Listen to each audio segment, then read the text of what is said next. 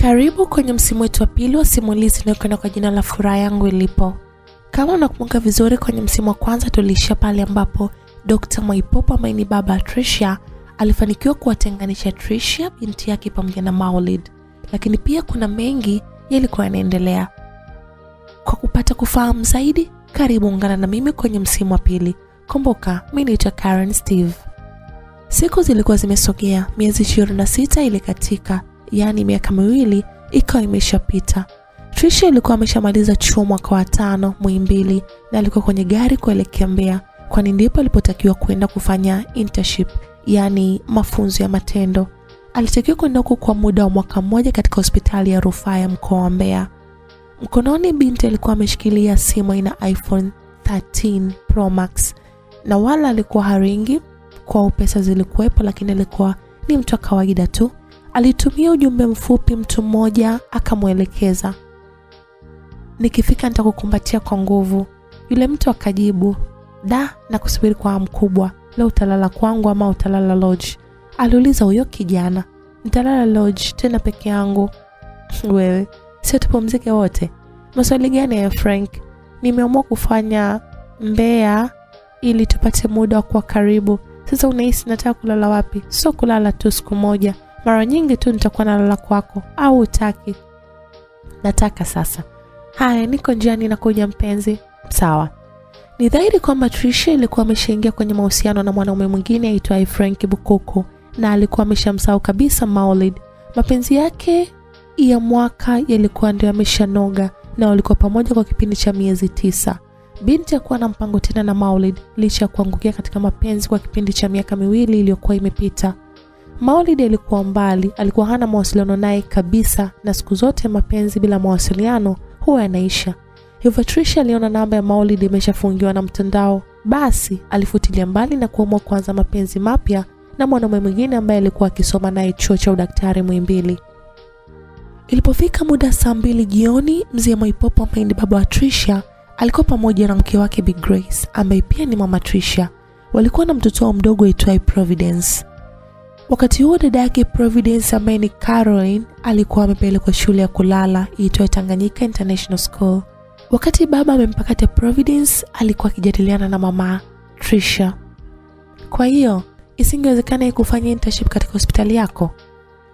Anavyodai Trisha ni kwamba haiwezekani, lakini sidhani, labda enzi hizi zimebadilika, ila enzi zetu nakumbuka tulikuwa tunaenda popote.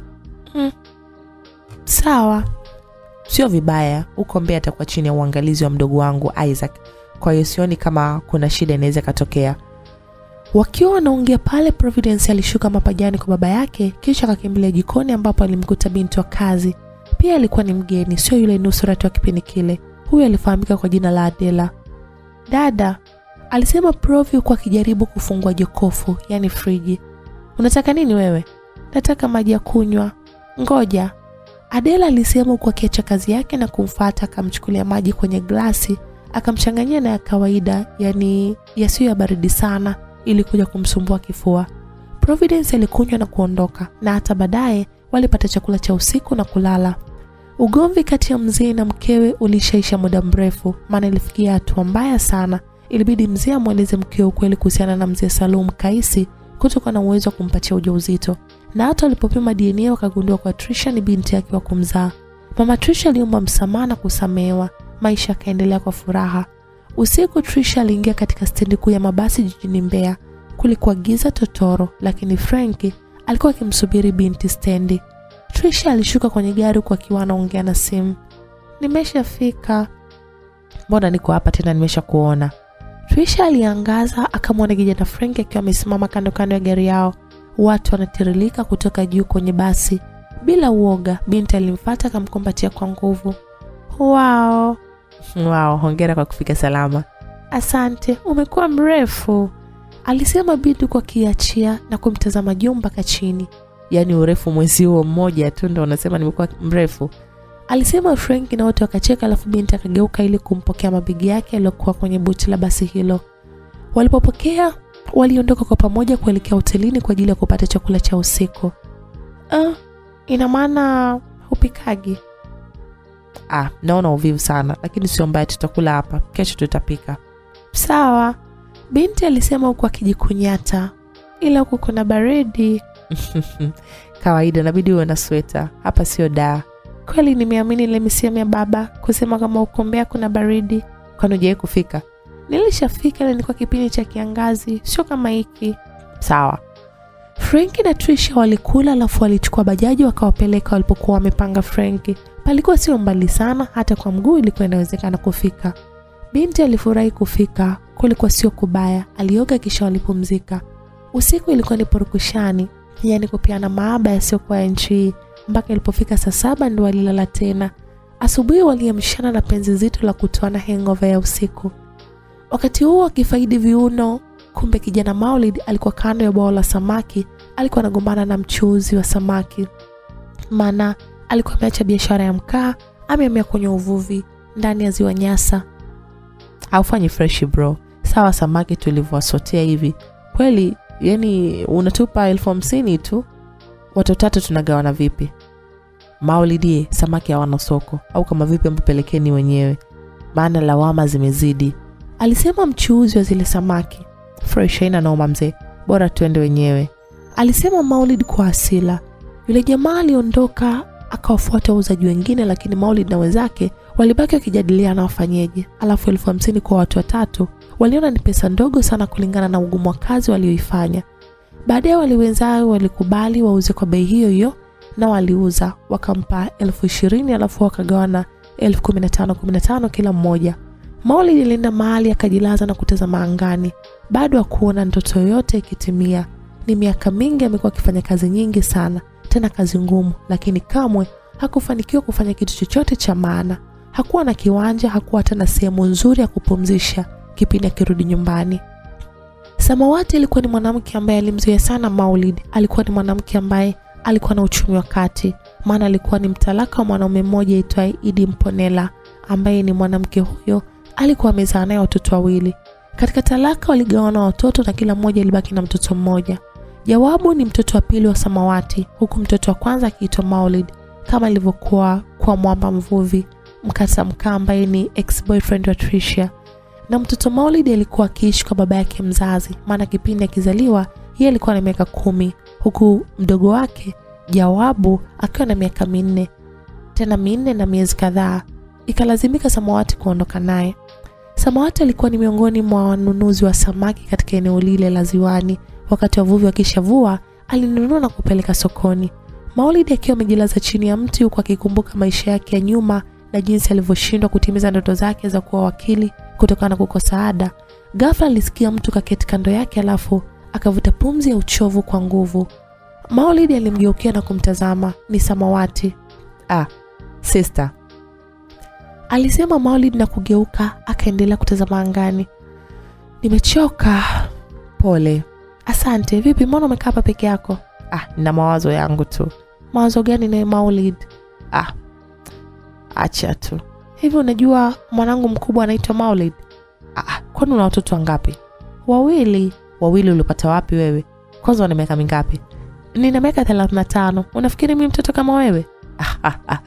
Mi na miaka thelathini na moja, sio mtoto. Ila kweli, maana mimi nikiwa na miaka thelathini na moja nina watoto wangu wawili. Ndio utafute mke wowe sasa, Da, ila kweli alisema Maulid na kuwaza mbali. Bado aliamini hana maisha ya kumfanya aweze kumtunza mwanamke. Maisha yake ni ya kutegemea elfu hamsini kwa wiki, ni kipato kidogo kwa ajili ya matunzo ya familia, ukizingatia hakuwa na kiwanja wala nyumba, hakuwa na godoro wala kitanda. Alijikuta anarudi kwenye mawazo yake ya mwanzo, ambapo alijisahau na kutamka peke yake. hivi nitaishi hivi hadi lini? Ina maana nitakufa maskini? Alijiuliza kwa sauti. Eh, -e. una mawazo vipi tena? Mbona unaongea peke yako? Kosa kubwa ni mimi mwenyewe. Nilikosea sana kuacha ile kazi ya kuuza mkaa, maisha yangekuwa marahisi. Kwa nini sasa uliacha? Maulid alitikisa kichwa, lakini akatabasamu, maana alikumbuka chanzo chake kwa chana ile kazi ni kwa sababu alikuwa amemkosa tu mwanamke ambaye alikuwa amempenda kwa muda mrefu sana. Maulid alicheka na kumtazama Samawati, alafu akasema "Hmm, ni bosi tu alinizingua na pesa yangu. Mhm. Pole, ila nili. Kabla Samawati hajamaliza sentensi, ndipo akasikia anaitwa. Aligeuka akakuta kuna kijana alikuwa akimwita. Mwanamke akasema tu nini? Yule kijana alimjibu, usafiri unaondoka, twenzetu. Samawati alishtuka na kuinuka akasema, eh, eh, kumbe gari imeshafika, twende mjini. Wapi? Mm, nataka nielekee mbea mjini, nataka nikamwone mwanangu maana anaumwa sana, Anaumwa? alisema Maulid kwa kiinuka na kuvaa t-shirt. Ndiyo, twende mjini. Nauli ya usafiri shingapi? Uwe twende, nauli hamna. Mhm, sawa. Maulid alijikuta amechotwa bila kutarajia. Alielekea kwenye gari, wakapanda na mizigo ya samaki, wakaelekea sokoni. Baadaye mida ya saa tisa, Maulid na Samawati walikuwa mjini. Walikuwa wakitembea kutoka katika stendi ya nane nane kwenda kwenye hoteli moja ili wakapate kwanza chakula kabla wakienda kumwona mtoto Maulid ambaye alikuwa anauma. Waliingia katikati ya hoteli moja na kuketi. Samawati akamuuliza, utakula nini? Nataka ugali nyama. Okay, mi nipatie spageti na kuku. Sio kama Maulid hakutamani kula vizuri zaidi, lakini alihofia pesa yake mfukoni, maana alihisi atalipa mwenyewe. Aliletewa juice kwanza, alafu stori ziliendelea. Maulid, nikwambie kitu, licha ya maisha magumu, ipo siku utakuwa safi. Mimi nakueleza tu hivyo. Nawaza hapa nirudi kwenye biashara ya mkaa, yaani nikiwapata wanangu kazi inaendelea. Namba zao huna? Nilitupa simu, ila najua pa kuwapata. Da, unajua nini, nikwambie kitu naambia nahitaji kupata mtoto wa kike, mtamtunza peke yangu, unaweza kunisaidia? Aliuliza Samawati kwa akimtazama Maulid kwa uso mkavu usio na aibu. Ilibidi Maulid atabasamu kwanza, huku akifikiria ni jibu gani ampatie. Wakati anafikiria cha kujibu, kumbe nje ya hoteli ile walikuwepo ndio aliyekuwepo amesimama Trisha pamoja na Frenki ambaye ni mpenzi wake mpya, huku wakiulizana Tuingie hapa, kuna juisi nzuri tu mbona. ni patulivu. Twende ukapaone, usipopapenda si tunatoka. Frank aliongea kwa akimshika mkono na kujaribu kumvuta ili waingie ndani, ambapo kule kule ndani kulikuwa na Maulid pamoja na Samawati. Walikuwa wanapata chakula cha pamoja. Trisha alikubali, akapigia twili kuongozana naye, yani Frank, kwa pamoja ili waweze kuingia kwenye ile hoteli. Maulid na Samawati walikuwa wanatazamana, huku Maulid bado akitoa tabasamu tu. Mbona hujanijibu? Unazingua Samawati. Haki ya Mungu, ninaamu kweli kupata mtoto wa kike wa mwisho, alafu niachane na swala la kuzaa. Seriously? Sio kwamba Maulid alikuwa hataki, ila alihisi Sama anamtania kwa sababu alikuwa hana mahusiano naye wala hawajawahi kutongozana katika maisha yao yote. Wakati wanaulizana, ndipo Trisha na Frank walifika ndani ya hoteli. Kwa bahati nzuri au mbaya, katika meza alikuwa amekaa Maulid, alikuwa ameupa mgongo mlango wa hoteli. Hata alipoingia Trisha na Frank hakuweza kuwaona. Kulikuwa na watu wengi pale hotelini. Trisha aliona aibu na kutoka nje baada ya macho kama watu thelathini hivi kumtazama kwa wakati mmoja. Frank alimfuata na kumuuliza, Mbona umetoka tena? "Ah ah, mi hapana bana, watu wengi, mtu tafute sehemu nyingine."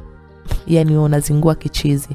Alisema Frank kwa hasira na kumfuata. Walipofika nje, walitembea tembea kwa mwendo wa taratibu, ndipo Frank akamwambia, Uh, kitandani mbona hauonagi aibu? Binti alicheka kwa nguvu, kicheko ambacho kilisikika umbali mrefu kidogo, kikatembea mpaka kikapenya ndani ya hoteli na kuingia kwenye masikio ya Maulid. Ni muda mrefu ulikuwa umepita tangu Maulid alipochana na Trisha jijini Dar es Salaam, lakini kama ubongo wake haukuwahi kusahau namna binti alivyokuwa akicheka. Alihisi kitu, alibaki anashangaa, lakini alijitia moyo kwa kuwaza kwamba binti sio rahisi akawa mjini Mbeya. Du, Vipi, niambie. mbona kama unawaza mbali? Hamna, ila ni kwamba mimi nawaza unanitania unachokisema. Unataka mtoto wa kike. mi nitakusaidiaje? aliuliza Maulidi huku akili yake ikiwa bado ipo kwenye kicheko cha Trisha ambaye alikuwa ameshaondoka muda mrefu. Sasa wewe si mwanaume na mimi si mwanamke, mi nahitaji kuzaa na wewe, naomba unisaidie. Mi sihitaji kuolewa, nahitaji mtoto mwingine wa mwisho, nipatie mimba Maulid. Maulid alimtazama kweli, yule mwanamke alionyesha kwamba anamaanisha kile alichokuwa anakisema. Maulid akaanza kumwamini na kumuuliza Je, asipokuwa wa kike? basi tu nitamshukuru Mungu, ila mi natamani kuwa na binti. Basi sawa, tutaongea. Poa, andika namba yangu alafu utanitumia ujumbe ni nijue ya kwako. Maulid alitoa simu mfukoni alafu akaandika namba ya samawati na kumtumia ujumbe. Lilikuwa ni bingo. Maulid bado hakuwa na mtoto hata mmoja. Alihitaji kuwa na mtoto maana umri umeshaenda. Kichwani alifurahia wazo la samawati kuhusiana na kumpatia mtoto wa kike. Alijiona anaenda kuitwa baba, lakini hatamtumikia huyo mtoto. Kwa hiyo hiyo ndio furaha yake. Baada ya wiki moja, ilikuwa ni siku ya Jumapili asubuhi. Maulidi aliamka mapema sana na kuenda kupanda gari kuelekea Iringa. Kule alikuwa anaenda kuangalia kama atawapata wale marafiki zake kina Johnson na Musa ambao alikuwa akifanya nao kazi. Aliamini atawapata Iringa kwa sababu yale ndio yalikuwa maskani yao, licha kufanya kazi wakiwa mkoani Njombe. Maulid alijua hata kama asipowapata basi atapata namba zao kwa urahisi zaidi ili aweze kuwasiliana nao. Alikuwa akiwaza mambo mengi sana Maulid, na alikumbuka mara mwisho akiwa jini Dar es Salaam baada ya kutoka katika kituo cha polisi, askari mmoja ilimfuata akamwambia, Samahani, nataka kuongea na wewe. nani? Dr. Mwaipopo. Okay. Maulidi kipindi hicho alipokea simu alafu akaongea. Halo? Sikiliza, mi babake Trisha. Nakuomba kitu kimoja. Kitu gani? Binti yangu sitaki afeli. Nachoona kwake kama umemroga. Sijui, lakini mwanangu sijui amekuwaje, kwa maana nyie waga mnakuwaga na majini sana. Sikiliza, nenda kakae na mwanangu, mtie moyo asome, alafu akishamaliza mitihani yake sitaki kukuona ukiwa na ukaribu naye. Mzee, siwezi. Hauwezi?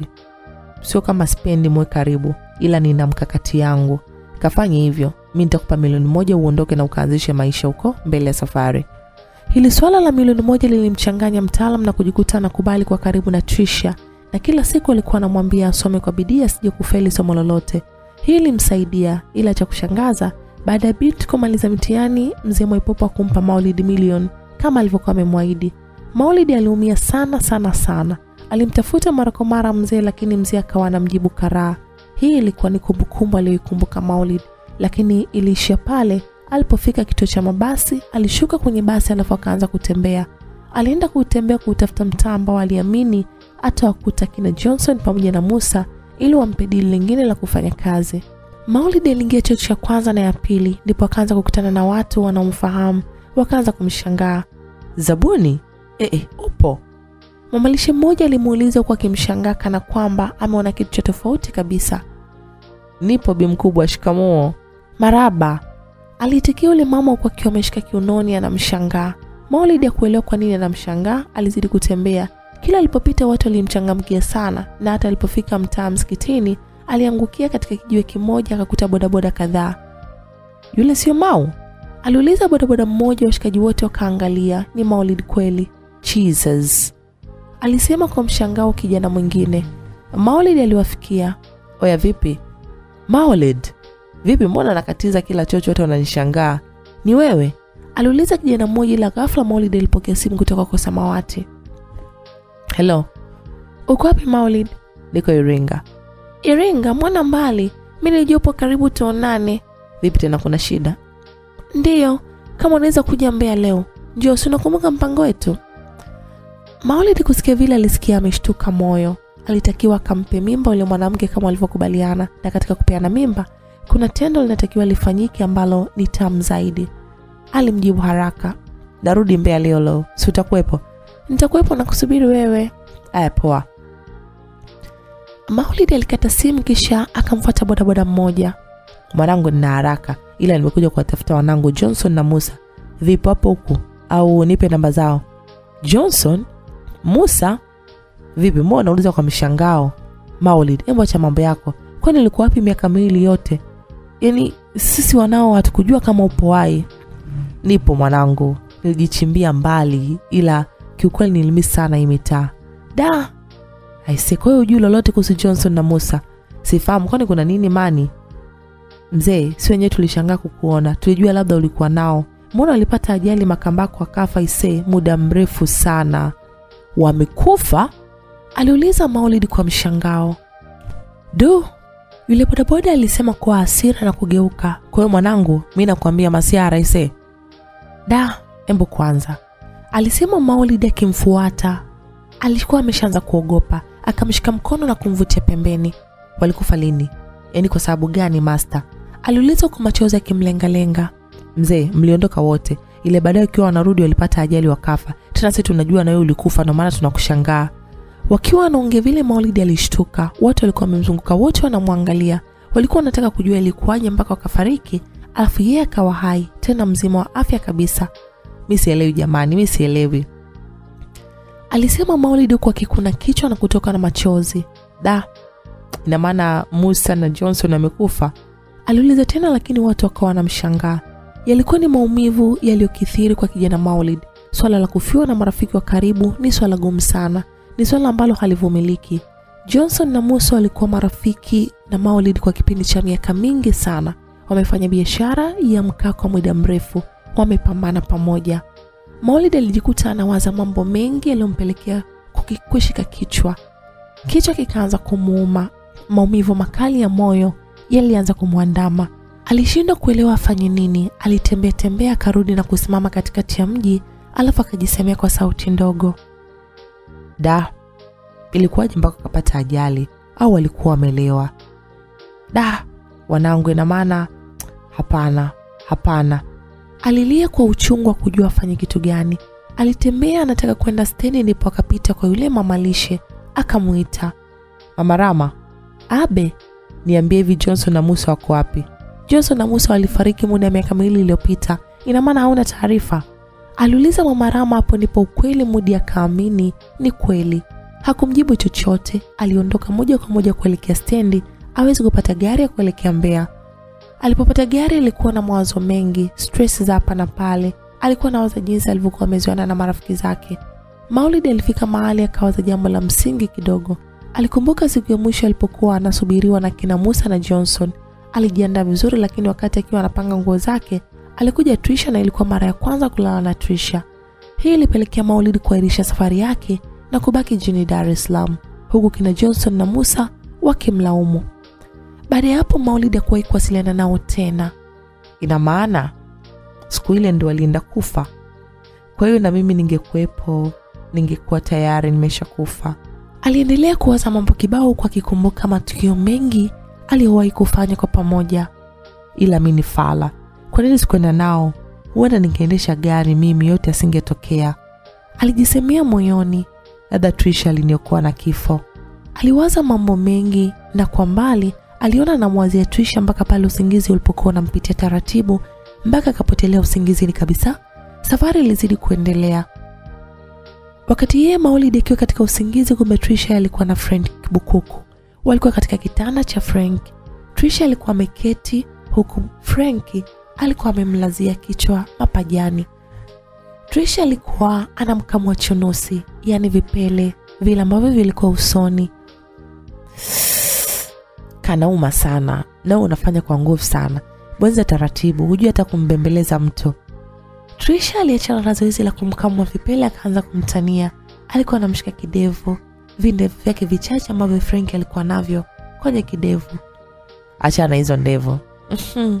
eti ndevu. Vindevu vyenyewe ni vidogo sana. Vinaanza huku vinashuka mashavuni.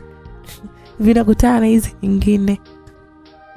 Alisema binti huku akipitisha kidole katika masikio. Akashusha shavuni mpaka kidevuni. Kwao sina ndevu mimi. Hakika hizo sio ndevu za mwanaume. Mfano maulid alikuwa na ndevu nyi. Kabla hajamaliza sentensi alishtuka na kuacha kuongea. Alikuwa amemtaja mpenzi wake wa kwanza kabisa kijana maulid hassan zabuni mm. huyo maulidi umemisane eh? hivi kwanza unavyomtaja kila mara si mkikutana unampa wewe? Kwanza si yaani si nitaachwa mimi. Alisema frank huku akiinuka kutoka mapajani kwa binti. Hapana siwezi kumpa siwezi kurudiana naye. Aliniacha vibaya alafu pia yule sio taipi yangu. Frank alimtazama usoni trisha. Trisha alimshika shavuni na kumwambia usinikasirikie mi kumpenda kweli. Na maana nimeamua kuja huku mbea ili tu ufaidi. Kweli. Ndiyo babe. Binti aliogea na kumsogelea kambus shavuni. Jioni muda wa saa kumi na mbili na nusu maulid alikuwa ameshatimba jijini mbea alikuwa na njaa kwelikweli alikuwa anakatiza katika mtaa mmoja hivi ambapo alikuwa anataka akae mahali amsubiri samawati ambaye alikuwa amemwambia kwamba bado yuko hospitali anamwangalia mtoto wake Muda huo Samawati alikuwa hospitalini na alikuwa ameketi kando ya kitanda cha mgonjwa ambaye ni mtoto Maulid, na muda huo pia Trisha alikuwa ameingia hospitalini pale, maana alikuwa amepewa shift ya usiku, lakini Frankie alikuwa ya mchana, kwa hiyo hakuwepo pale. Mama Maulid kwa jina lingine Samawati alitoka hospitalini haraka haraka na kwenda nje ya geti, akachukua pikipiki ili awaishwe kwenda kukutana na Maulid. Tageti yake kubwa ilikuwa ni kwenda kulala na Maulid ili apate mimba, akiamini kupata mtoto wa kike. Baada ya dakika kumi tu alikuwa ameshakutana na Maulid. Alikuwa wanatembea kuelekea katika nyumba ya wageni. Binti akafungua tochi yake ili kuangalia pesa ya kwenda kulipia. Alipokuwa anafungua pochi, ghafla aligundua kuwa simu yake haipo. Ee, simu yangu, alisema kwa mshtuko kidogo. Vipi tena? Simu yangu nimeacha wapi? Alijiuliza kwa mshangao, alafu akaondoka. Haipo. Ndio, hebu please nipigie, alisema akianza kuogopa. Maulidi haraka haraka akatoa simu yake mfukoni, kisha akampigia Samawati kwenye namba yake. Iliita. Inaita. Inaita, embu, alisema Sama na kupokea simu, alafu akaisikiliza kama itapokelewa. Kweli ilipokelewa na ilikuwa sauti ya mwanamke. Hello, hello, vipi? Safi, samani, hiyo simu yangu naiomba. Sawa, umeisahau hapa hospitali, njoo uchukue. Sawa dadangu, asante, alisema kwa uchangamfu, alafu akakata simu. Vipi nani? Kumbe nilisahau hospitalini. Twende. Safari ilianza, akaondoka moja kwa moja mpaka hospitali. Kumbe muda wote alikuwa amepokea simu ya Samawati alikuwa ni Trisha. Samawati alipofika moja kwa moja aliingia ndani ya hospitali na kumpigia tena, akapokea Trisha. helo tuko hapa, naomba niletee hiyo simu tafadhali. Sawa. Wakati wakiwa wanamsubiri, kwa bahati mbaya au nzuri, Maulidi alipokea simu kutoka kwa kijana mmoja ambaye alikuwa akivua naye samaki, kitendo kilichomfanya asoge pembeni kidogo na kukaa sehemu ambayo kulikuwa hakuna kelele. Akiwa pale aliongea kwa dakika kama tatu hivi, akajitokeza na kumwangalia Samawati. Alikuwa anashangaa shangaa.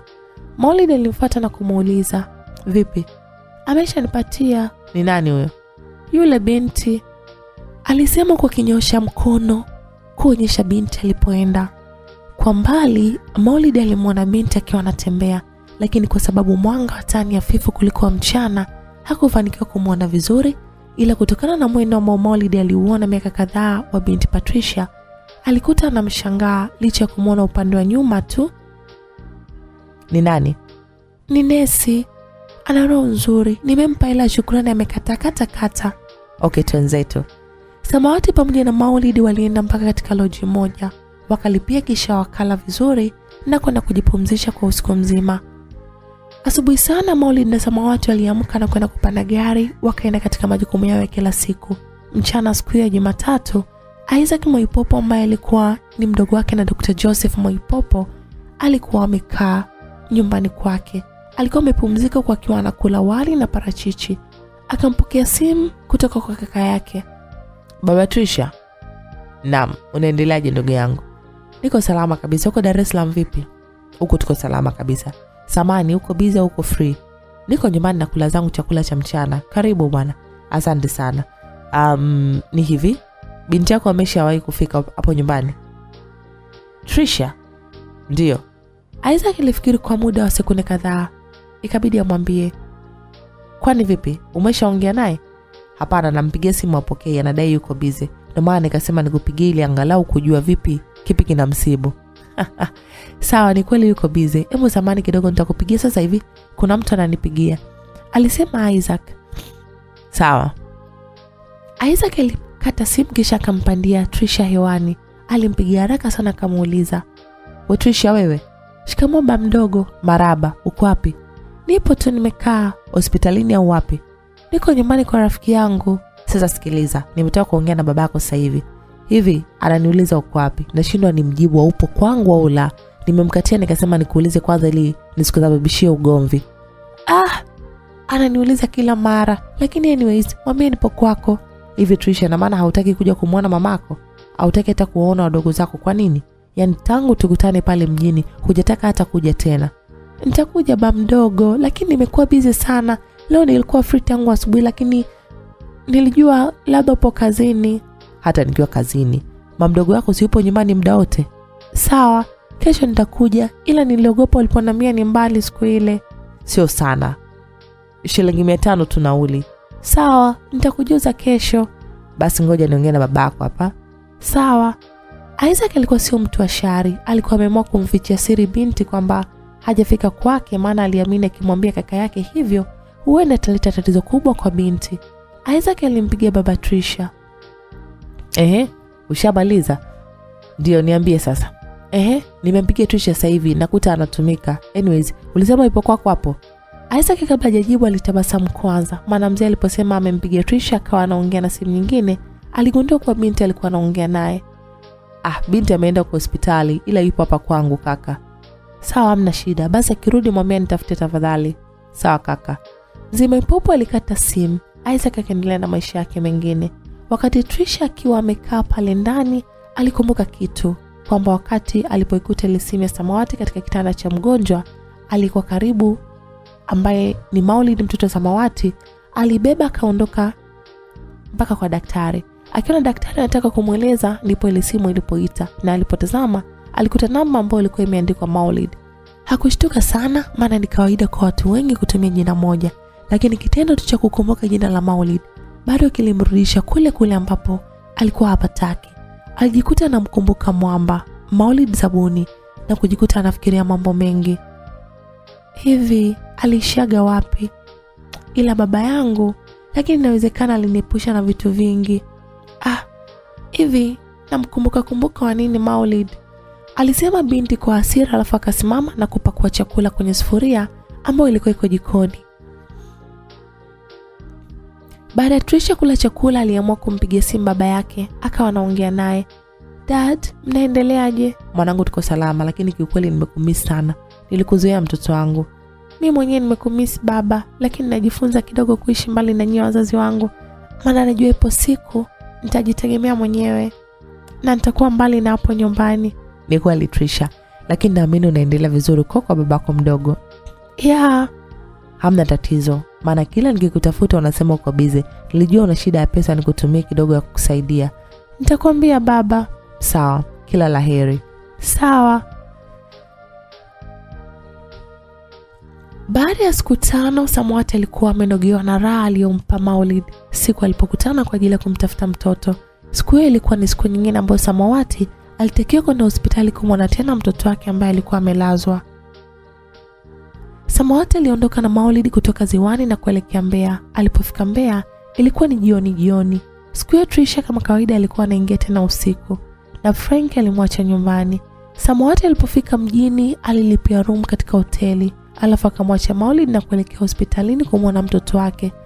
Trisha naye alikuwa ameketi kando ya kitanda cha mtoto Maulid, akawa anamuuliza maswali. Mamako ni yule ambaye alisahau simu hapa? Hmm. Mbona ajija tena tangu siku ile?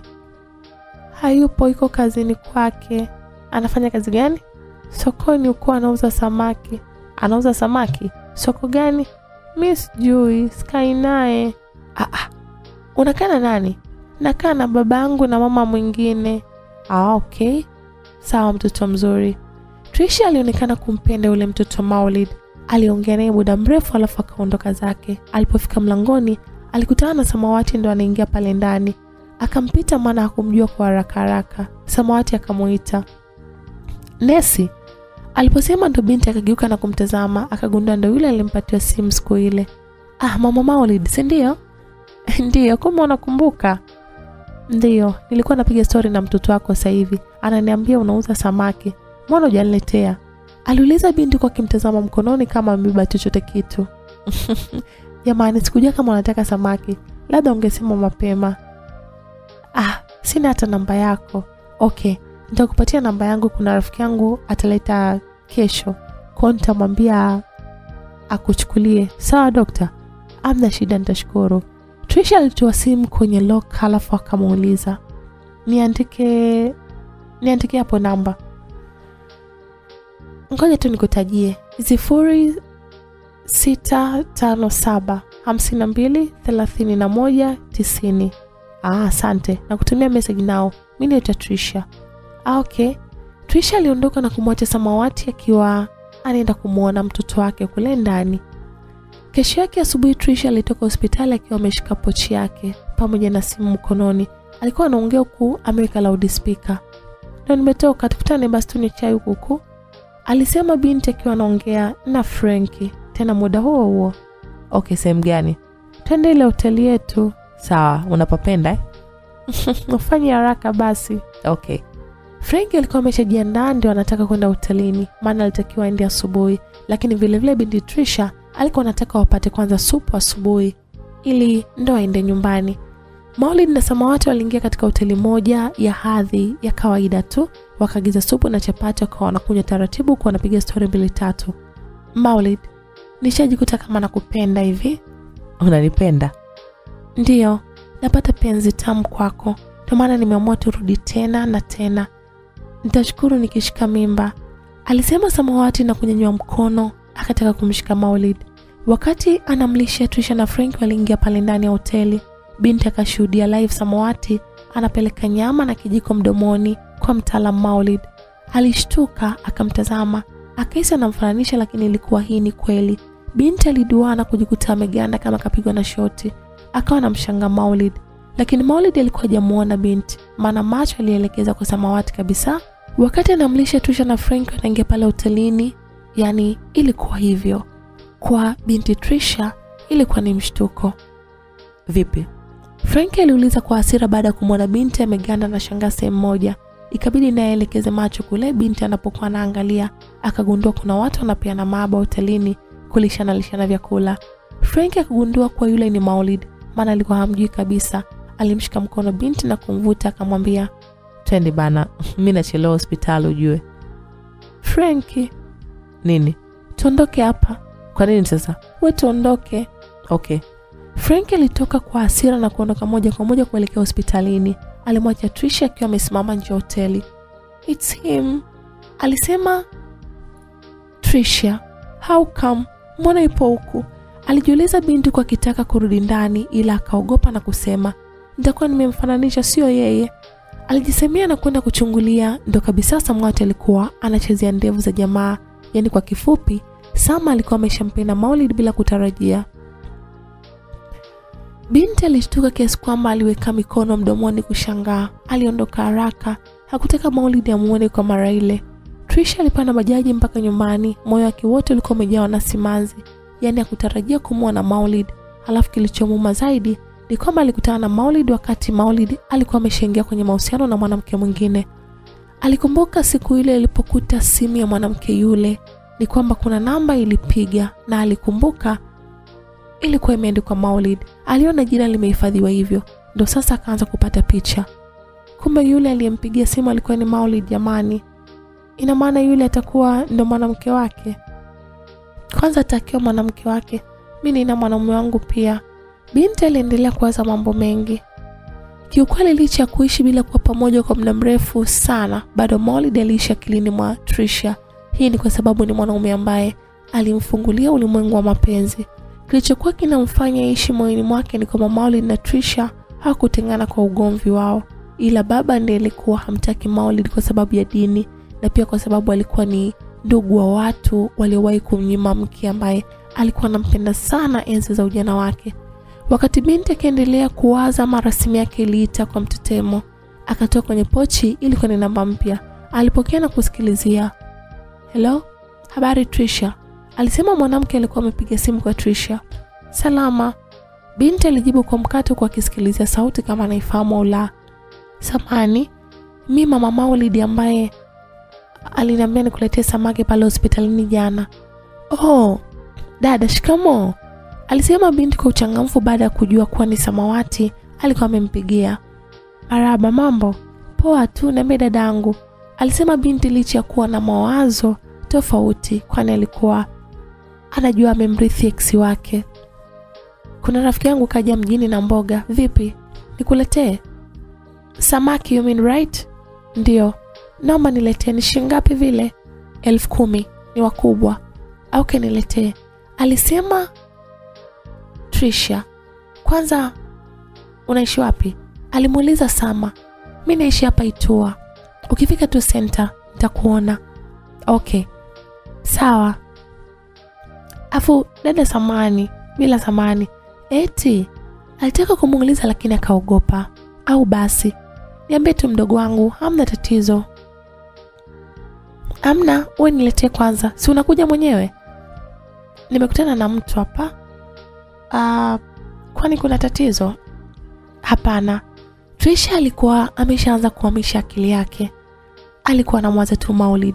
Hakujua Maulid alimpaga nini kipindi alipokuwa kwenye mahusiano. Trisha alimwona mara ya pili, alijikuta anaumia sana sana sana.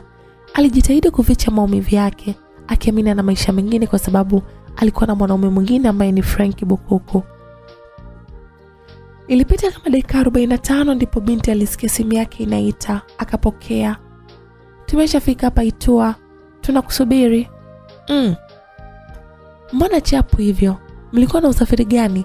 Alisema bindu huku kishuka kitandani na kuanza kutoka nje ya chumba. Nilikuwa na dereva mmoja hapa na fujo kweli kweli. Nakuja hapo sasa hivi. Sawa. Trisha alienda na mawili kichwani. Alitamani kuonana na Maulid. Alitamani vile vile kupata samaki apike, maana ni muda sana alikuwa amemiss. Alifungua geti na kutoka barabarani. Kulikuwa sio mbali, yani alisimama nje ya geti akamwona yule mwanamke amesimama karibu na kijiwe cha bodaboda. Japo sio rahisi kumwona, lakini muda huo dereva ambaye alikuwa ni Maulid alikuwa anashindana na vijana pale Itua kupiga norinda ya pikipiki ambayo hata sio ya kwake. Alipenda sana ujinga, vijana walimzoea kwa haraka. Samawati alimwacha akicheza na pikipiki. Yeye alimfuata Trisha kwa miguu, akamkabidhi mzigo wake na kupokea pesa. Jamani wakubwa, alisema Trisha baada ya kuwaona. Ndiyo, tena hapo bado nitakuletea wengine wakubwa zaidi. Mwanangu Maulid alikusifia sana, alisema unampenda. Jamani, ndiyo, nashukuru sana Trisha. Ngoja mi niondoke. Dereva wako iko wapi? Ah, yule kule anacheza na pikipiki. Trisha alichungulia akamwona kwa mbali. Jamaa anatimua vumbi tu, wala hajui kama ni Trisha iko Mbeya. Stresi kuishnei, analelewa mjini, anasubiri tu kuota kitambi. Trisha akawa anampungia, lakini wapi, jamaa hamuoni. Ndipo akamuuliza Samawati, ni mume wako? Maana jana niliona pale hotelini mkiwa mna aliona aibu. Hapana, ni bwanangu, tunaishi naye, tunasaidiana, ila ninampenda. Ni mstaarabu sana, anajua sana kuishi na mwanamke, hana mbwembwe na wanawake wengine. Kwa kifupi, nilimpenda mwenyewe na anajikuta nazidi kumpenda kila kukicha, ndo nakolea yani, maana anapata mapenzi ya dhati ambayo niliyakosa kwa muda mrefu. Samawati alielezea kina Goubaga bila kujua kwamba kadri anavyomsifia Maulid ndivyo anavyomuumiza moyo wa Trisha. Haya basi, niwatakie safari njema. Poa. Trisha aliingia ndani akiwa anazidi kuteseka moyoni licha ya kuwa ana mwanaume mwingine tena. Baadaye Samawati na Maulid walikuwa katika usafiri wanaelekea zao Nyasa kama ilivyokuwa ada. Binti akamwambia, hivi kumbe ni dereva mzuri kabisa eh? sana nilikuwa naendesha gari la mkaa kutoka njombe mpaka da Hmm. So kwa nini ile gari yangu huwa unanichukulia mzigo mpaka sokoni? leseni imeisha muda wake na kurenew ni elfu sabini na viposhoposho ni lazima niweke lake kabisa Sawa, sasa sikia, mi nitakupa hiyo pesa ukarenew leseni, alafu unaanza kwa dereva wangu ili kunirahisishia kazi. itabidi nichukue room natamani we na maisha Hivyo utafanya baadaye, si nitakuwa na kulipa kila tripu. basi hamna shida Samawati alimtazama Maulid alafu akamlalia begani. Alijibebisha ili angalau azidi kupewa nafasi. Akamwambia tu, nahisi kitu kimeshaingia huku, nasikia kama kuna utofauti mwilini. itakuwa vizuri Wakati wao wakibebishana, Trisha alikuwa ameketi kitandani ameshika tama. Yale maneno ya Samawati yalirudirudia kwenye ubongo wake. Hapana, ni mwanangu tu, naishi naye, tunasaidiana, ila ninampenda, ni mstaarabu, anajua sana kuishi na mwanamke, hana mbwembwe na wanawake wengine. Kwa ufupi, nilimpenda mwenyewe na kujikuta nazidi kumpenda kila kukicha, ndo nazidi kukolea, maana napata mapenzi ya dhati ambayo niliyakosa kwa muda mrefu. Alikuwa anatokwa na machozi taratibu, hajui hata anatokea wapi. Alichukua mtu akaupiga kitandani, alafu akasema, kumbe ukunipenda, umenisahau kabisa, huko biza unampa mapenzi mwanamke mwingine. Alisema binti alikuwa haoni kama amemsahau hadi akatoka na Frenki. Alijiona yuko sahihi kabisa. Alifuta machozi na kusema, hata hivyo sikutaki, sikutaki, sikutaki mimi. Roho ilikuwa inauma. Alitamani sana angemwona katika maisha yake yote. Nitakuonyesha, binti aliongea huku akiwaza. Aliwaza afanyeje ili kumuumiza Maulid. Saa kumi na mbili jioni Frank aliyorudi nyumbani kama kawaida yake. Alimkuta binti amelala kadha kadhoofika kitandani, akamchangamkia. Hey baby. Vipi? Safi. Frank aliongea kwa kitazama jikoni, yaani alivyopacha asubuhi ndo hivyo hivyo kulivyo. Kilichoongezeka ni samaki wawili wabichi hapo kwenye sufuria. Ah, vipi? Hujapika? Sijisikii poa, Hujisikii poa unaumwa? Hata sielewi, najisikia tu ovyo. Nimelala tangu asubuhi, yaani nilichoka sana usiku. Okay. Um, sasa leo hauendi? Ya, sindo mpaka kesho ndo naanza mchana. ok okay. Frank aliingia bafuni akaoga, kisha akarudi na kujirusha kitandani. Alipojaribu kumgusa binti alikataa. Alikuwa ajisikii kwa karibu na mwanaume kimapenzi. Mapenzi ni saikolojia. Mtu huweza kumkataa hata mwenza katika ndoa kwa sababu ana stresi za mchepuko. Hauko sawa? Au asubuhi nilikuboa? Aliuliza Frenki kwa maana alikumbuka kwamba asubuhi yake walikuwa wamegombana pale hotelini mara tu baada ya binti kumwona Maulid akilishwa kipande cha nyama. Amna, wala tena nahisi mi nilikukosea. Amna, basi usijali. Naomba unikumbatie tupumzike, alafu tujue tunapika hizi samaki au la. Trisha alimsogelea taratibu akakumbatiana lakini huwezi kuamini, akili ya Trisha ilikuwa kwingine kabisa. Baada ya wiki ikiwa siku ya Ijumaa jioni, Trisha alikutana na Samawati sokoni. Samawati akampatia samaki kama zawadi, alafu wakawa wanapiga stori mbili tatu. Leo mjini uko peke yako? Amna, niko na shemeji yako, amechoka. Yaani kuna sehemu kapumzika. Wapi? Hivi mnajua nao? unaniulizia? Hapana, hatujuani, ila naipenda kapo yenu. Mhm. Yuko kule utalini kule kwa siku ile amepumzika. Ah, sawa. Mtoto wako vipi nyumbani, anaendelea vizuri? Aliuliza Twisha. Maana yake mtoto Maulid alikuwa amesharuhusiwa kutoka hospitali. Ndiyo, anacheza sana na wenzake, hata shule ameenda sasa. Namshukuru Mwenyezi Mungu kwa kumjalia afya. Ah, sawa. Ukienda kumwona mwambie dada Trisha anamsalimia. Hamna shida.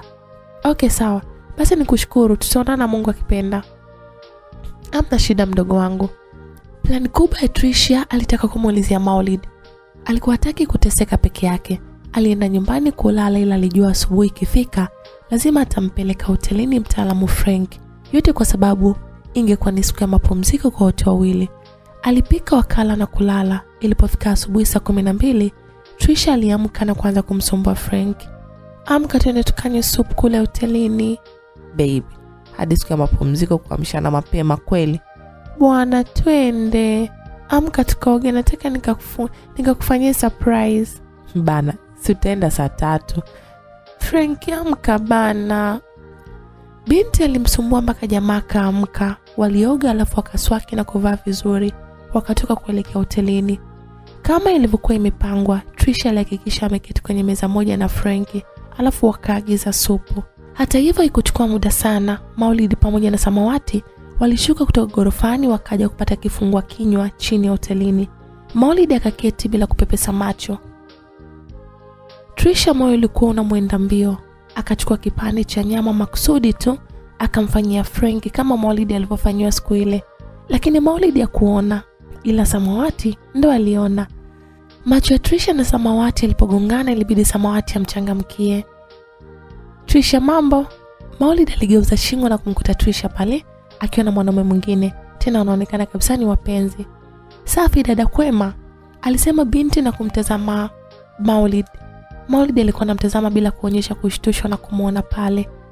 Trisha kidogo alishangazwa na ile hali. Maulid hakutaka hata kumchangamkia wala kuonyesha kama ni mtu ambaye alishawahi kuwa naye katika mahusiano kipindi cha nyuma.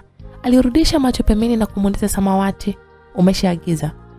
Trisha alibaki kushangaa, kwani jamaa hajali. Aliacha zoezi lake la kunywa supu, akabaki anamtazama. Maulid hana hata muda naye, ndo kwanza anakunywa supu taratibu, huku anapiga stori na Samawati. Baadaye Samawati na Maulidi walipanda juu gorofani, walitaka wapumzike weekend nzima pale mjini. Waliporudi chumbani, Maulidi akamuuliza, Uliniambia anaipenda kapo yetu ni yule msichana pale? ndiyo yule ndo nesi alikuwa anamjali sana mwanangu, tena kipindi kile uko hospitali. Ah, Vipi, mnafahamiana au umejuaje kwamba ni yeye? Amna, nilikuwa na jinsi ulivyomchangamkia nikajua lazima atakuwa ni yeye. Aliongea Maulidi kwa kiinuka na kuvua shati, alafu akaingia bafuni. Unaenda kufanyaje tena? Sikuoga. Kuoga? Tumeoga asubuhi hii lakini. Ah, nilivyokunywa supu na, na sweti. Ah, sawa. Maulidi aliingia bafuni akafungulia bomba la mvua, alafu maji akamwagika taratibu. Alianza kukumbuka mambo mengi sana. Kumbe Maulidi alivyomwona pale hotelini binti, sio kwamba akushtuka, lakini alijizuia kwa kiasi kikubwa. Akiwa bafuni, hisia zilimpanda, alijisikia hasira, akapiga ngumi ukutani na kusema Shit. alafu akavuta pumzi ndefu na kuinama. Bado maji ilitiririka. Ina maana yule yuko Mbeya ndo kila siku anawasiliana na Samawati. Ina maana Trisha siku hizi kaajiriwa Mbeya. Kwa nini anafanyia hivi? Alijiuliza na kuinua uso juu, macho yakawa yanatiririka usoni, yakawa yanashuka. Aliwaza taratibu, Ina maana na mwanaume siku hizi. alijiuliza kwa hasira, alafu akaanza kutoka na machozi, lakini alikuwa anaenda na maji kama ilivyokuwa samaki akiwa baharini. Alioga muda mrefu sana. Maulidi hakupenda kuonyesha maumivu yake mbele za watu, alijionyesha akiwa peke yake tu, na hakika ilikuwa ikimuumiza sana kisaikolojia. Alijisikia mpweke na asira bahati. Kwa hiyo babake alininyima mimi yule mwanamke mzuri kiasi kile. Alisema mtaalam kwa sauti ndogo kila alipokumbuka jinsi alivyokuwa anaangaliana naye pale hotelini muda wa nusu saa. Aliwaza sana. Pumbavu, bora nisingekutana naye. Baada ya kujimwagia maji kwa muda mrefu sana, alitoka. Alimkuta Samawati akiwa anaubembeleza usingizi, maana usiku alikuwa na mikiki mikiki iliyomfanya asilale vizuri. Maulid akuweza kuvumilia, akamuuliza Huyu ndio alikupatia simu siku ile kule hospitalini? Ndiyo, si tulimpelekea samaki kule Itua? Aliuliza. Hapo alikosea kutaja mtaa, yule mtaa ambao alikuwa anaishi mtoto wa kike. Maulidi alitulia kimya, akashika tama, akimfanya Samawati kuendelea kusinzia moja kwa moja usingizini. Baada ya Maulidi kuhakikisha Sama amesinzia vizuri, aliinuka akavaa suruali na shati, akatoka spidi kuelekea nje ya hoteli, akachukua pikipiki. Nipeleke Itua kiongozi. Poa. Pikipiki ilitembea mpaka alipofika, akashuka na kulitafuta geti la kina Trisha, Akagonga, akafunguliwa na mtoto mwenye miaka tisa hivi au kumi. Ujambo? Sijambo, shikamoo. Maraba. Hivi Trisha anakaa hapa? Dada mmoja hivi anafanya kazi hospitali, Eh, mke wa Frenki alisema mtoto, lakini hapo ndo kabisa alikuwa anazidi kutonesha kidonda cha mapenzi.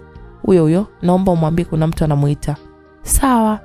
Yule mtoto alienda kugonga mlango wa Trisha. akatoka Frenki na kumuuliza Vipi James? eti dada yupo? Yupo. Alisema Frank na kurudi ndani akamwita Trisha. Anatafutwa huko. Na nani tena? James. Trisha alishuka kitandani na kusogea, akafungua mlango na kutoka. Dogo James lisha udogo wake, alishusha sauti na kusema, kuna mtu anakuita hapo nje. Trisha alishangaa. Mimi? Dogo aliitikia kwa kichwa. Trisha alivaa ndala na kutembea hadi getini, akachungulia kuangalia hivi nje. Mwamba huyu hapa ameegesha mkono mmoja getini, alafu mwingine ameshika kiuno. Maulidi aliinua macho akamtazama na kumuita Trisha. alisema huku akimwangalia. Yani kadri siku zilivyosogea ndo anazidi kuwa mzuri kupita maelezo. Maulid. Binti aliita kwa kitoka na kufunga geti asijakasikika uko huko ndani. Maulid alimtazama binti kwa sekunde nyingi bila kuongea chochote. Machozi yalikuwa yanamtoka tu na kutiririka mashavuni. Mbona umekuja hapa? Binti aliuliza kwa kitazama yale macho yanavyomtoka. Trisha, umeamua kuniumiza? Kukuumiza kivipi? Unafikiri sijashtuka? unafikiri sijaumia nilivyokuona pale hotelini ina maana umeamua kuja kunionyesha na huyo mwanaume wako si ndio trisha alisema kwa uchungu Maulid na kufuta machozi. Maulid, ondoka. Siondoki Maulidi aliweka mgomo. Machozi ni mengi, maumivu alikuwa anayasikia sio ya nchi hii. basi mwambie aje aniwe kama alivyotaka kuniua babako ili mkae kuwa na amani maana mi nimekuwa wa kuteseka tu Maulid, binti alibaki kumuita tu jina, alafu akamvuta kwa nguvu akampeleka sehemu mbali kidogo na pale getini ili asikutwe. Kwani umekuja huku sasa? Nimekuona na mwanamke wako, tena mmelala wote hotelini mara nyingi tu. Ni rafiki yangu yule. Hata kama kwani mi nilijua kukombea trisha nimeumia sana mpaka nimelia Kulia sio tatizo, naomba usirudi tena hapa. Naomba tu endelea na maisha yako na mwanamke wako, na mi naendelea na maisha yangu na mwanaume wangu. Maulid alimtazama kwa asira hakuamini yale maneno yanayotoka kinywani kwa Trisha. Aliumia sana. Sawa, hakuwa na kitu cha kuweza kumtunza, lakini alimpenda sana mtoto mwenye asili ya Kinyakyusa. Karibu kwenye simulizi inayokwenda kwa jina la Furaha Yangu Ilipo, msimu wa pili. Mtunzi ni Mr. AB, anayepatikana kwa simu namba 0743 433 005. Simulizi hii imeandaliwa na kuletwa kwenu na Simulizi Mix ambao wanapatikana kwa simu namba 0677 062 012. Msimuliaji wako ni Karen Steve. Trisha alimtazama Maulid kwa muda wa sekunde kadhaa. Maulid alikuwa amepungua kiafya, hata uso ulionekana kutokuwa na furaha kama ilivyokuwa mwanzo. Hakujua tatizo limetokea wapi. Maulid alisonya kwa asira alafu akageuka na kuondoka zake kuelekea mjini tena. Tena alienda kwa miguu. Trisha naye alirudi ndani, akamkuta Frank ameketi kitandani, kanuna hatari. ulienda wapi Ah, kuna mtu nilikuwa naongea naye hapo getini. mtu gani Ni ndugu yangu, mtoto wa ba mdogo Isaac. au sio kwao ndo mkaondoka na usingemkaribisha ndani sasa Ah, alikataa kuingia ndani. unavyoongea tu unaonekana mwongo Haki ya Mungu, ni ndugu yangu, nina maana au niamini? basi sawa Frank alitulia kimya, lakini kiukweli kitendo cha Molly na Trisha kuonana kwa mara nyingine kingeweza kuleta madhara makubwa katika mahusiano ya Frank pamoja na Trisha. Mjini bata liliendelea kati ya Maulid na mama Maulid. Raundi hii walihamia Soweto kabisa kwa Samawati, pale alipokuwa wamepanga nyumba nzima. Kulikuwa hamna uoga, tayari tumboni kulionekana kuna kitu kimeanza kumsumbua Samawati kwa sababu mwezi na wiki mbili zilikuwa zimekatika. Mara nyingi Trisha na Maulid walikumbana mjini wakiwa kila mmoja amefuatana na mpenzi wake mpya, lakini siku moja Frank alipata wasiwasi, akamtokea Maulid njiani na kumsimamisha. samani bro. Bila samani, naomba nikuulize. Uliza, hivi kati yako wewe na trisha mnafahamiana vipi? Nilipokuona tu nilijua hilo ndo swali lako. Aliongea kwa matambo mtaalam na kumshika Frank begani. nikwambie kitu kimoja tu mdogo wangu. Mimi ni ex wa trisha. Uh, ni mimi ndiye nilikata utepe ule mtoto. Kwa hiyo usijione una dem kama alishawahi kukuambia kuhusiana na maulid basi mimi ndiye Alimaliza sentence akamwacha, alafu akaendelea kutembea huku akicheka kwa dharau. Frank alibaki ameganda kama sanamu. Alimwangalia tu Maulid alivyokuwa anatamba, alijisemea moyoni, kwa hiyo kumbe ndo huyu ndio maana trisha aeleweki kabisa ilibidi tu aende nyumbani akapumzike huku akimsubiri Trisha, maana alikuwa akienda mchana na Frank usiku. Trisha alipofika tu nyumbani alipokelewa na maneno, kumbe ndo maana ueleweki siku hizi trisha e -e, nini tena? nimekutana na maulid yani ananioshia mbaya anatamba ndo alikutoa bikra kumbe ndo maana unanifanyia vituko Mmekutana wapi? Ni sawa, kanitoa bikra. Sasa anafikiri ndo kigezo cha kunitoa kwako? Anafikiri akishakwambia alifanya hivyo ndo nitarudiana naye mjini? acha mambo yako mbona tangu ulipomwona tumebadilika hata ukikutana naye huwa unakosa confidence Frank, nini niache, sitaki maneno na wewe, wala sihitaji kurudiana na huyo bwege mimi. Mhm. Frank alionekana kutokuamini maneno ya Trisha kabisa. Alihisi siku sio nyingi, lazima atamsaliti tu. Kwa upande mwingine, mtalaka wa Samawati ambaye aliitwa Idi Mponela alikuwa amekaa na rafiki yake aitwaye Jumbe Bashiru. walikuwa wanapiga stori, ila mama Maulid kaiva siku hizi kula aleki, alisema Jumbe. Kaiva kivipi? Yani kanoga kinoma oo, kama lote. Yani kuna jamaa anazunguka naye kila mahali, ndo nasikia anakula na wanalala wote pale Soweto. Acha matani, ni kweli ise, mi mwenyewe mama Jafari nilimwacha kwa sababu hiyo hiyo. Alikutana na baba mtoto wake anampa tu nyoko zake yule. Ah, ah, ah, ah. Alicheka Idi kidogo. Idi alikuwa ni mtu mwenye ukatili mwingi sana, alisifika katika unyanyasaji. Hata sababu ya mtoto wake mkubwa Maulid kulazwa hospitali kwa wiki tano mfululizo ilikuwa ni Idi alimtandika vyema, kwa sababu dogo alimwaga sukari kilo moja. Hata hivyo, baada ya kupewa taarifa kwamba kuna jamaa anakula ua lake la zamani, hakuweza kuvumilia. Baada ya Jumbe kuondoka, Idi alimpigia simu mtalaka wake, Mama Maulid, naambia unaendeleaje? Safi tu, nasikia umeamua uh, kumuoa kijana, unalea tu siku hizi. Nani kakwambia? Ulidhani sitajua? Tabia yako ndelele, hutaki kubadilika. Ah, ah, una wazimu Idi eh? Unanionaje? mi naye ndo tuliachana? Unadhani eh, mimi sisikiagi hamu? Si upo na mke wako umeoa, mi unanifuatilia wa nini? Niache na maisha yangu. Nakwambia hivi, ache umalaya. We mpuuzi nini? Umalaya uache wewe, sio mimi. Upo unanitukana? Achana na mimi, alisema binti na kukata simu kwa hasira. Idi alifura kwa hasira, alivuta sigara mfululizo, alafu jioni ilipofika akaamua kukusanya vijana wake watatu waendesha bodaboda, akaenda nao mpaka kule Soweto kumwonyesha binti yeye ni nani. Kwa bahati mbaya sana walimkuta Maulid, Jawabu pamoja na binti wa kazi wakiwa kibarazani wanaongea. Idi akawauliza, mama Jawabu yuko wapi? Binti wa kazi akamjibu, ameenda dukani, anarudi lakini pumbavu, alisema na kumnyoshia rungu Maulidi ambaye alikuwa amemshika Jawabu. Wewe unafanya nini hapa? aliuliza Idi huku akimtazama kwa hasira. Maulidi alishtuka akagundua kuwa kuna shari inaanza.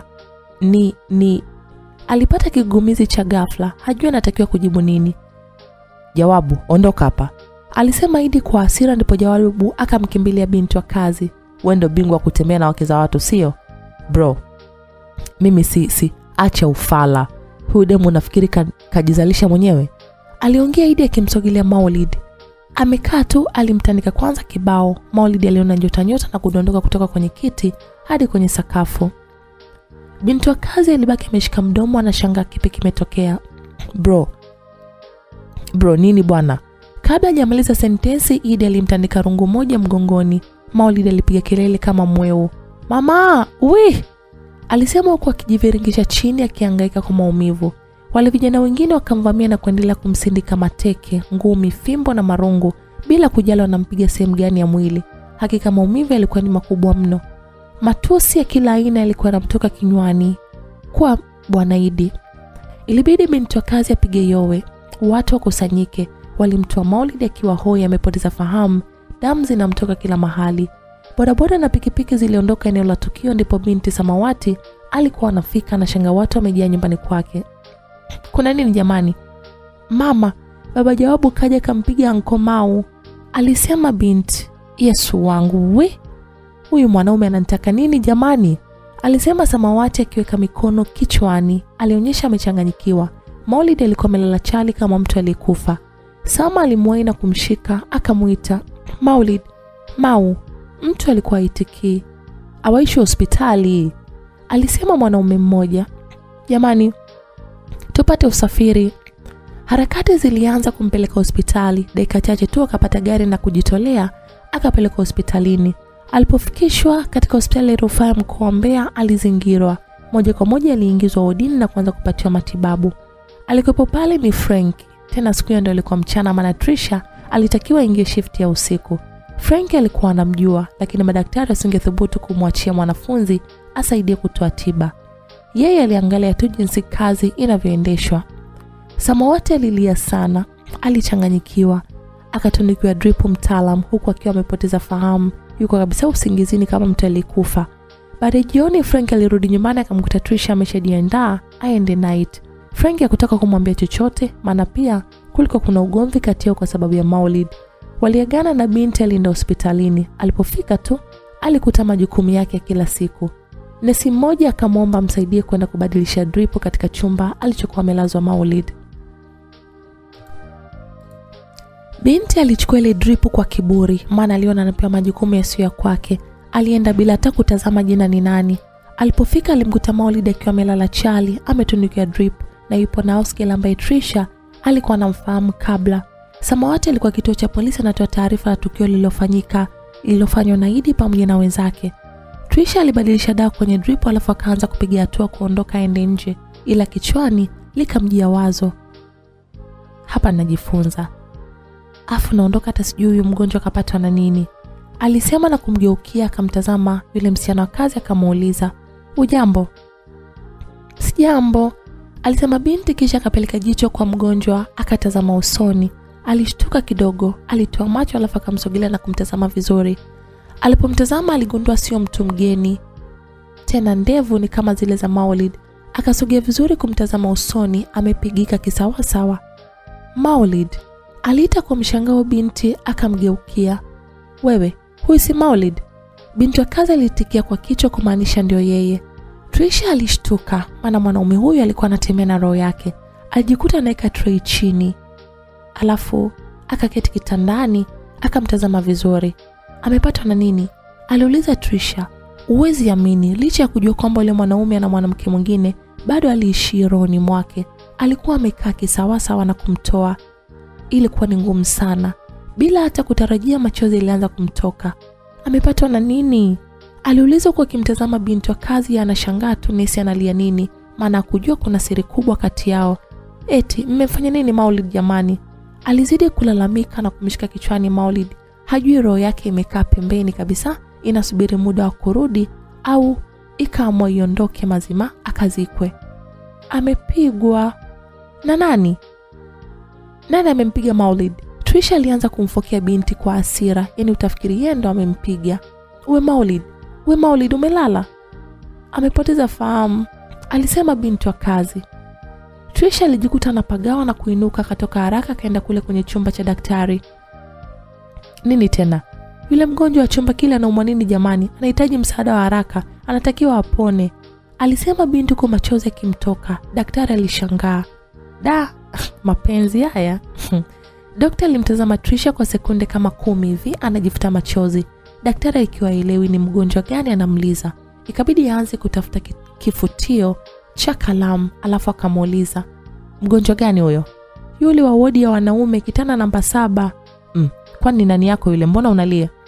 Binti alishika vidole kwa aibu, alafu alitikisha kichwa tu na kusema amna. Alisema kwa aibu. Ngoja tunasubiri amke ndo tunaweza kumhudumia vizuri. Sawa.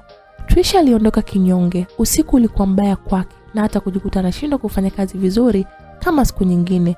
Kila mda alikuwa anafikiria imekuwaje. Muda huo Frank akampigia simu binti akapokea. Vipi? Safi. Hapo hospitalini kunaendeleaje?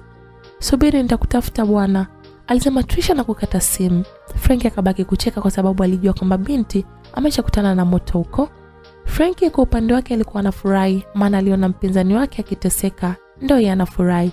Ni sawa na shabiki wa Simba anavyojisikia furaha pale Yanga anavyoteseka, au Yanga anapofurahi sana pale Simba anapokuwa anateseka. Furaha ya upinzani ni kumwona mpinzani akiwa kwenye maumivu. Upande mwingine ni Marungu alikuwa anatembea kwa Idi na kijana wake mmoja ambaye walishirikiana kumvamia Maulid, maana walikuwa kwenye mikono ya jeshi la polisi usiku ule, lakini wawili hawa bado walikuwa hawajapatikana kwani walikuwa wameshatoroka mjini Soweto ndani ya jiji la Mbeya. Baada ya kuwasweka sero, ndipo Samawati alipata nafasi ya kuja na chakula hospitalini. Alipofika alikuta binti wa kazi alikuwa nje kwenye kiti cha mapokezi. Ilibidi aingie ndani. Alimkuta Trisha akiwa na mgonjwa kando ya kitanda, anamtazama kwa kisali kimoyomoyo asije akafa. Alipomwona Samawati, binti aliinuka na kusema, dada, mdogo wangu uko hapa? Ndio. Vipi, imekuwaje tena? Mmempiga hivi? Imekuwaje wamempiga kiasi hiki? Hm, jamani, huyu ni mtalaka wangu baba Maulid, yeye ndo ameamua kumpiga hivi, tena akampiga kisawasawa. Uwivu tu kweli? Ndiyo jamani, nusu amue, alisema binti. Alikuwa anampenda Maulid, sio mchezo, yaani alikuwa anampenda sana sana.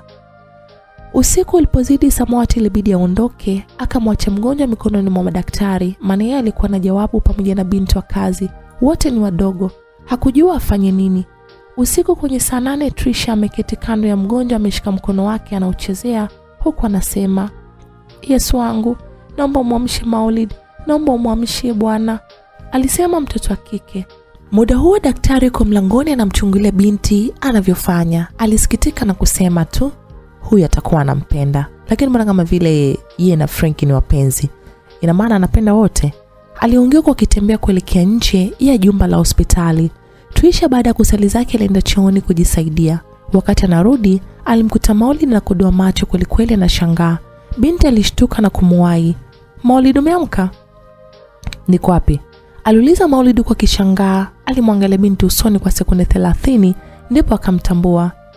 Trisha, abe, ngoja nikuitie daktari, alisema huku akitoka na kukimbia kumwita daktari. Daktari, daktari! Alifanya hivyo mpaka akampata. Nyuma alimwacha Maulid akiwa anajaribu kunyanyua mkono. Alishangaa maumivu ni makali.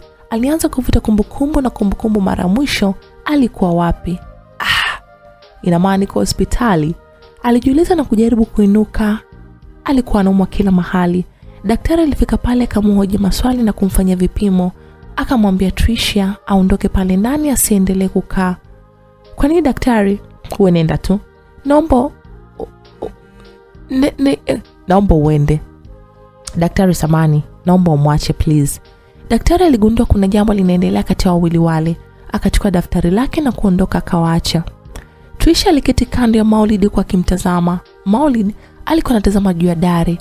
Machozi yalianza kumtoka huku akijilaumu. Kwani mimi nimekosa nini kwa Mungu? Nimekosea nini hii dunia? Nimemkosea nini Mungu? Trisha akaunga akaanza kulia. Usilie Maulid, mbona hivyo? Hapana Trisha, nateseka sana. Kila nikikaribia kupata furaha yanatokea mambo ambayo yananitoa kwenye furaha moja kwa moja. Naumia sana sana.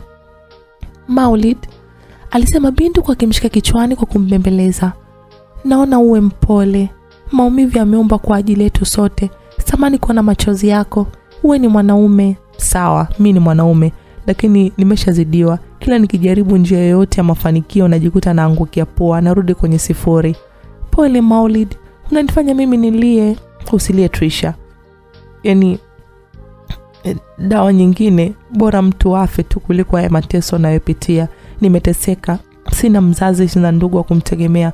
Baada ya kupoteza ada ya kwenda chuo cha sheria, walintelekeza ndugu wote. Pole Maulid, ipo siku utafanikia usiumie. Nalia kwa sababu ya mengi. Usiwaze sana Maulid, unajua mpaka umekonda. sa kwa nini uliacha ile kazi yako ya mkaa? Trisha, huwezi kuelewa na utoelewa. Machozi yalizidi kumtoka kijana wa watu. Basi ona, nikitoka hapa hospitalini sina pa kwenda kukaa, sina nyumba, sina hata godoro. Naenda wapi mimi nikiwa mgonjwa hivi? Aliongea kwa huzuni sana kijana Maulid. Alishazoea maisha ya kuishi bila sehemu maalum, lakini kipindi hichi alikuwa mgonjwa. Nani angelimpokea? Alijiuliza sana. Machungu yalipozidi, Trisha aliondoka polepole na kumwacha peke yake aliye mwenyewe, naye alienda kulilia mbali. Ilikuwa ni kama masiara, lakini ni kweli na uwazi kabisa. Baada ya Maulid kupata ajali, Samawati hakuwahi kufika tena hospitalini. Hakuwa na nia ya kweli ya kumsaidia, licha ya kwamba yeye ndiye chanzo cha Maulid kupata tatizo la kupigwa na kuumizwa vibaya. Maulid aliendelea kubaki hospitali kila siku. Trisha ndo alikuwa akimhudumia chakula na hata vitu vingine. Hata hivyo, hii ilipelekea deni la hospitalini kufika hadi laki saba kwa kipindi chote alichokuwa pale. Ilikuwa ni pamoja na matibabu, angalo alikuwa na uwezo wa kuilipa hiyo pesa hata kidogo. Vilevile ugomvi mkubwa ulizuka kati ya Trisha pamoja na Frank. Kila mara Frank alimlalamikia kwa nini ukaribu wa Trisha na Maurid unazidi kuwa mkubwa wakati wao wameshaachana kitambo. Hivi Franki, unakasirika kila siku? Sitaki umsaidie we Maulid. Jamani, ndo hivyo. Kwanza nikwambie kitu, tangu ukutane naye unisikilizi chochote nachokwambia. Nikusikilize nini? Hivi una roho ina gani? Ina maana mtu akipata matatizo huwezi kumsaidia? Kwa hiyo pale hospitalini wewe uliyemuona na matatizo, mbona usaidi wengine? Niache bwana, yule namjua kutoka muda. Poa, endelea kumjua, alisema Franki kwa asira kwa kimwangela binti anavyokunja nguo za Maulid ambazo alikuwa amekuja kuzifua pale nyumbani. Sawa. Trisha baada ya kumaliza shughuli alianza kumpakulia chakula kwenye kikontena. Alijitahidi kumpelekea lakini baada ya kupakua tu, Frank alikishika kikontena na kukitupa nje. Chakula kilimwagika. Akaona itosha, akabeba na sufuria akatupa nje, kikamwagika chote. Frenki, binti alimwita kwa hasira kwa kimnyoshia mwiko. Mjinga nini? yani chakula upike kwangu alafu upelekea hawara yako? Alisema Frenki. yani nusu tu binti ampige na mwiko, lakini alisita, maana alikuwa na nidhamu ya hali ya juu. Franki aliona udhaifu wa binti, akaamua kuvuruga na zile nguo binti alizokuwa amezipanga. Trisha alijikuta ameumia mpaka ametoka na machozi, yani hasira zilikuwa ni nyingi sana. Hakujali sana, alienda akaosha kikontena akaweka kwenye mfuko. Alizikusanya zile nguo alafu akaondoka pale nyumbani. Trisha alipita hotelini na kwenda kununua chakula alafu akampelekea Maulid hospitalini.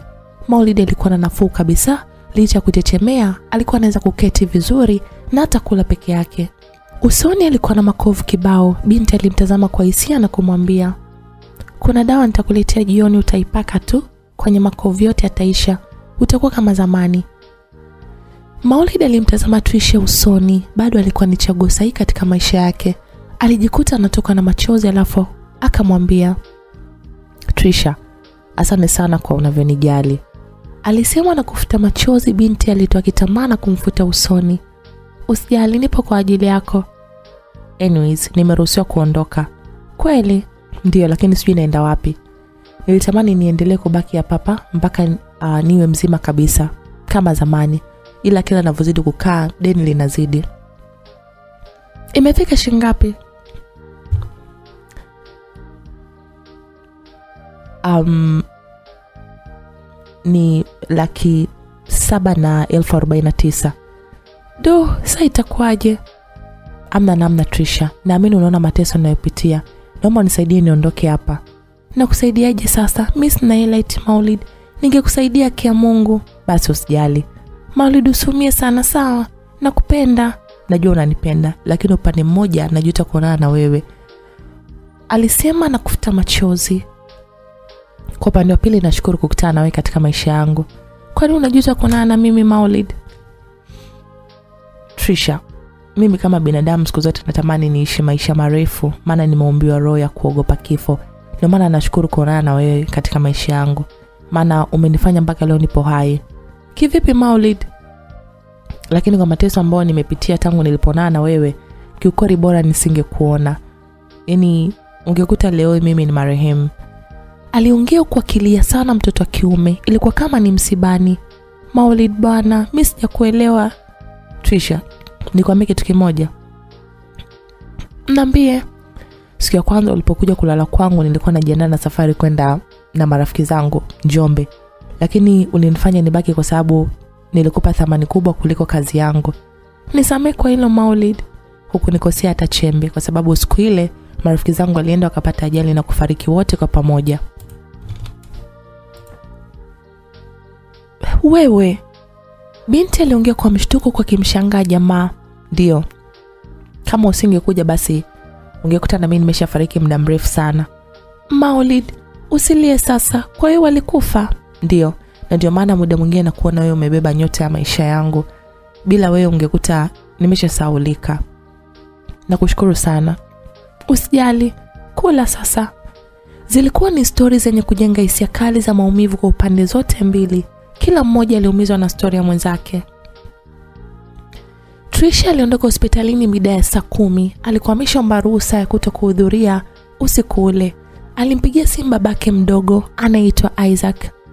Shikamo baba. Maraba mtoto mbaya. Ubaya wangu tena nini jamani? Yaani kwa hiyo kuja kunisalimia mara moja ukaona ndio inatosha. Yaani kwa hiyo kuja kunisalimia mara moja tu ukaona ndio inatosha. Umefanya natenda dhambi kila siku kumwambia babako uongo. Anyways, unaendeleaje? Salama tu. Nataka sasa nihamie huko kwako, maana nimechoka kuishi na rafiki yangu, ananikorofisha sana. Mhm. Kweli. Ndiyo, nitapata nafasi? Of course. Yes, njoo tu. Sawa, nataka nijiandae kuja nije leo jioni. Usijali mwanangu. Asante ba mdogo. Binti alisema na kukata simu. Trisha alienda nyumbani akamkuta Frenki amejifungia ndani. Alimgongea. Frenki, Frenki. Frenki alikuwa kimya tu. We Frenki, nifungulie lakini. Frenki. Frenki alikuwa kimya. Trisha alisogea dirishani na kuligonga. Frenki akapunguza sauti ya redio. Nini?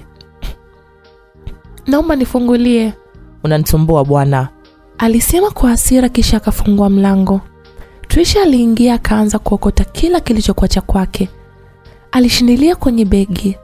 Vipi? Mbona unapanga vitu? Nimeamua niondoke. Unaenda wapi? Ulidhani sina ndugu Mbeya? Uliona ulichokifanya asubuhi ni kitu kizuri sana eh? Alafu hata sasa hivi na kugongea mlango unakausha kama unisikii. Maana yake utaki usumbufu. Basi baki na geto lako, mi naenda kwa ndugu yangu. Mm-mm, yamekuwa hayo tena. Niache, binti alisema na kuzidi kujiandaa mpaka akamaliza. Baada ya kuamini kila kitu kimekaa sawa, binti aliondoka bila hata kumwaga. Alitoka nje ya geti na kuita bajaji impeleke Forest. Baada ya muda, binti alifika kwa baba mdogo wake. Alikuwa anapajua, japo alimkosa, lakini alimkuta mkewe akiwa anapika chakula cha usiku. Waliongea mengi, alimkaribisha sana na alikuwa ameokoka mno. Usiku saa mbili bado Maulidi alizunguka katika ubongo wake. Alikuwa anapata tabu sana kwa sababu mwanaume yule, yani hakujua kwa nini amemtawala kiasi kile. Mtoto wa kike alijikuta anapata shida. Maulid alikuwa hana simu, ilikuwa imepotea siku ile ile alipopigwa na Idi. Trisha aliweweseka, hakuweza kupeleka chakula kwa sababu alikuwa mbali kidogo na pale. Vile vile alikuwa kwa babake mdogo, kutoka isingewezekana kiurahisi ili kuweza kuonyeshana nidhamu kwa ndugu zake. Trisha hakuweza kuvumilia, alichukua simu akampigia nesi mmoja ambaye alikuwa zamia usiku ule. Alikuwa anaitwa Flora Ngoma. Madam Flora. Yes, how are you?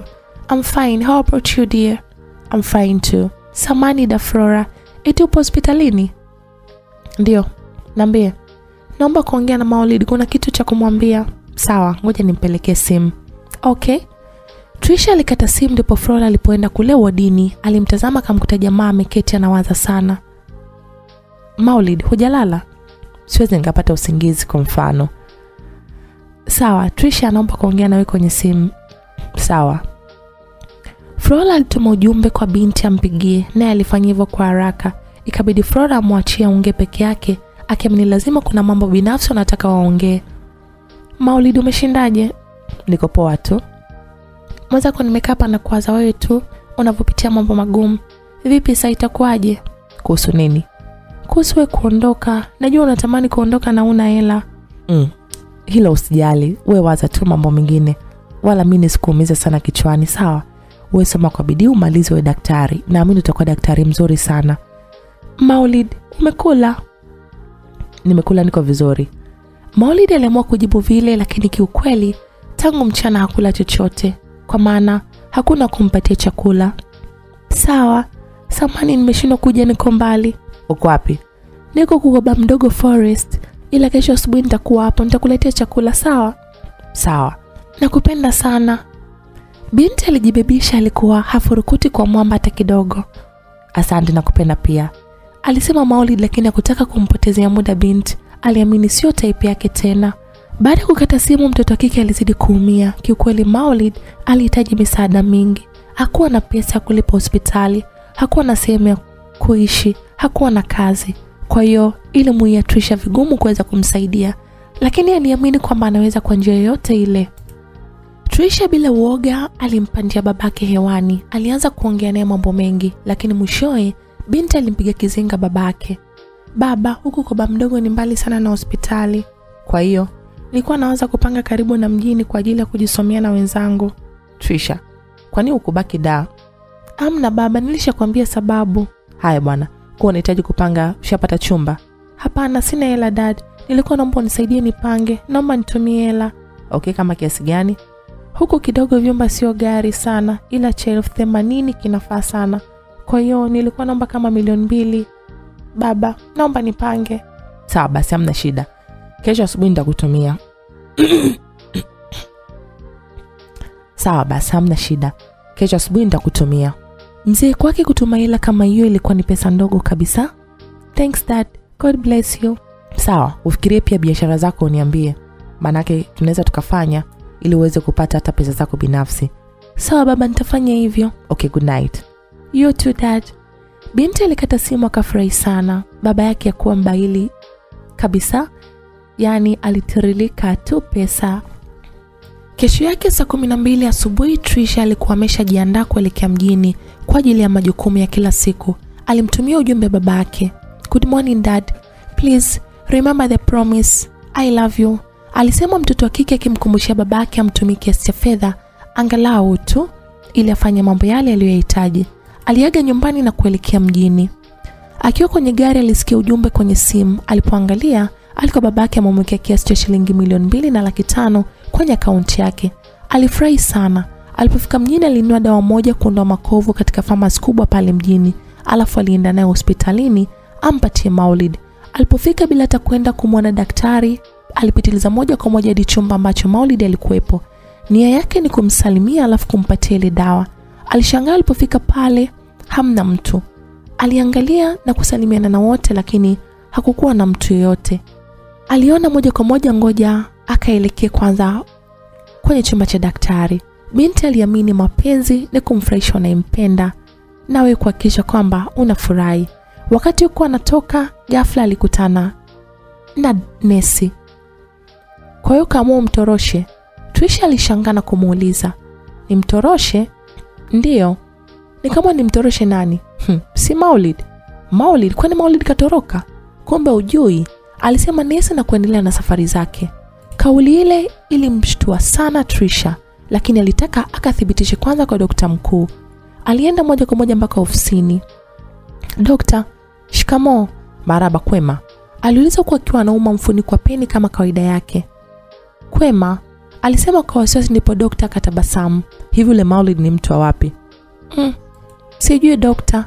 Eti ametoroka? Nani kakwambia adela nilijua tu. Vijana wengi wa staili ile lazima watoroke tu. Ameondoka saa ngapi? Usiku kama nilivyopewa taarifa. Na walinzi walikuwa wapi? Kwa kweli hata sijui. Sielewi kabisa huu utaratibu uliletwa na nani. Sawa tutafuatilia atapatikana tu ila najua ni mtu wako na unajua alipo. Haki ya mungu sijui alipo. Kweli kabisa dokta sifahamu. Binti aliapia. Haya bana. Alisema daktari kwa kukata tamaa ilikuwa ni siku ya simanzi tena kwa mtoto wa kike. Alikuwa ajui kwa nini kila mara penzi lake na mauli linapokolea basi ndo huchoropoka na kukimbia kabisa katika uso wake. Aliumia sana. Alitoka nje akakaa chini peke yake. Alikuwa anawaza mambo mengi sana kuhusiana na maulid mtaalam sijui kakimbilia wapi. Hivi kwa nini unakuaga na tabia za kupotea bila taarifa? Binti aliuliza nafsi ambayo hata ilikuwa haimsikii si ungeniambia tu naondoka nijue au kisa mi nakupenda alizidi kuongea mtoto wa kike. Roho ilikuwa inamchoma sana. Yaani mtoto mdogo kujifia na presha kisa mapenzi. Alijaribu kujizuia kwa namna yote lakini kiukweli ilikuwa ni hali ngumu sana kuzoea kuishi bila kumwona maulid. Tena kwa mara nyingine alikuwa anatamani kuwa naye katika maisha yote lakini ndo tayari ameshapoteza nafasi naye kwa mara nyingine ya pili. Mi nitakuona wapi? Alisema binti ina maana wewe unipende kama mimi ninavyokupenda. Ndio maana ni rahisi kwako wewe kutoroka na kwenda mbali tena kila saa. Alisema kwa sauti ambayo ilionyesha kusikitishwa na mapenzi wakati wote. Kiukweli trisha alikuwa amekufa ameoza kwa sababu alikuwa hajui ni kipi amefanyiwa. Unaambiwa baada ya maulid kuondoka tena ilipelekea binti kuumwa siku nzima yaani yupo legelege mpaka daktari alimwonea huruma na kumwambia ende nyumbani kwa ajili ya kupumzika trisha alipanda gari na kwenda nyumbani. Bado alipata mawazo ya kishetani na hata kuamua kutuma ujumbe kwa samawati akaona namba apate kwa samawati namba ya maulid.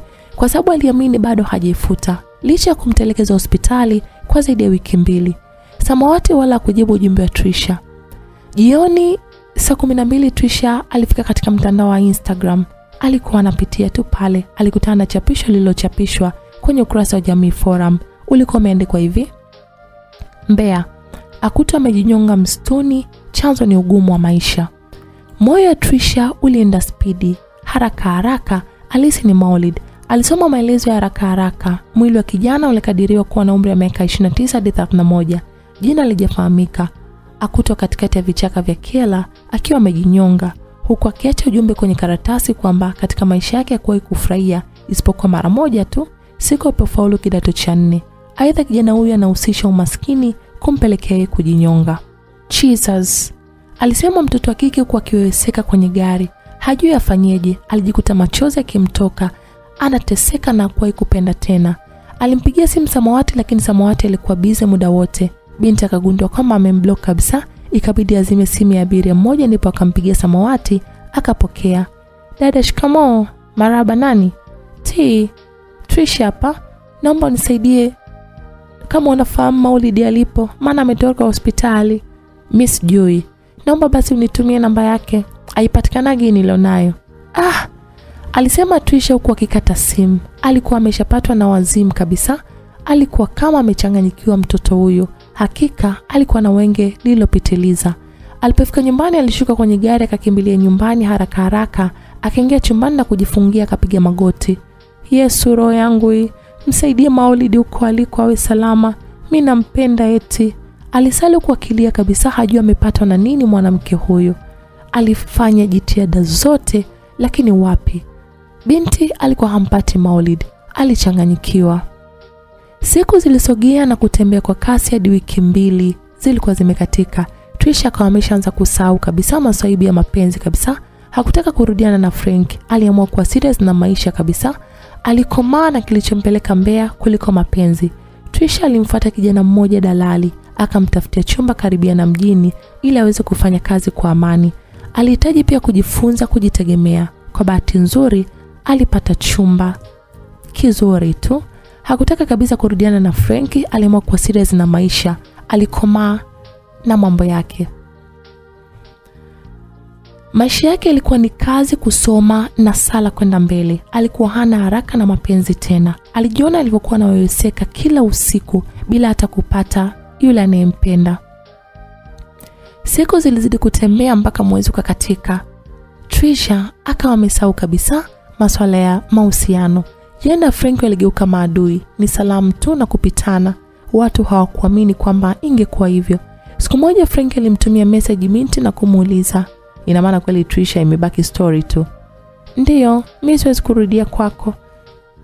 Moyoni mwangu nimegundua kuna mwanaume mmoja tu, asipotokea basi siwezi kuwa na mwingine, na akitokea nitambebea tu mimba.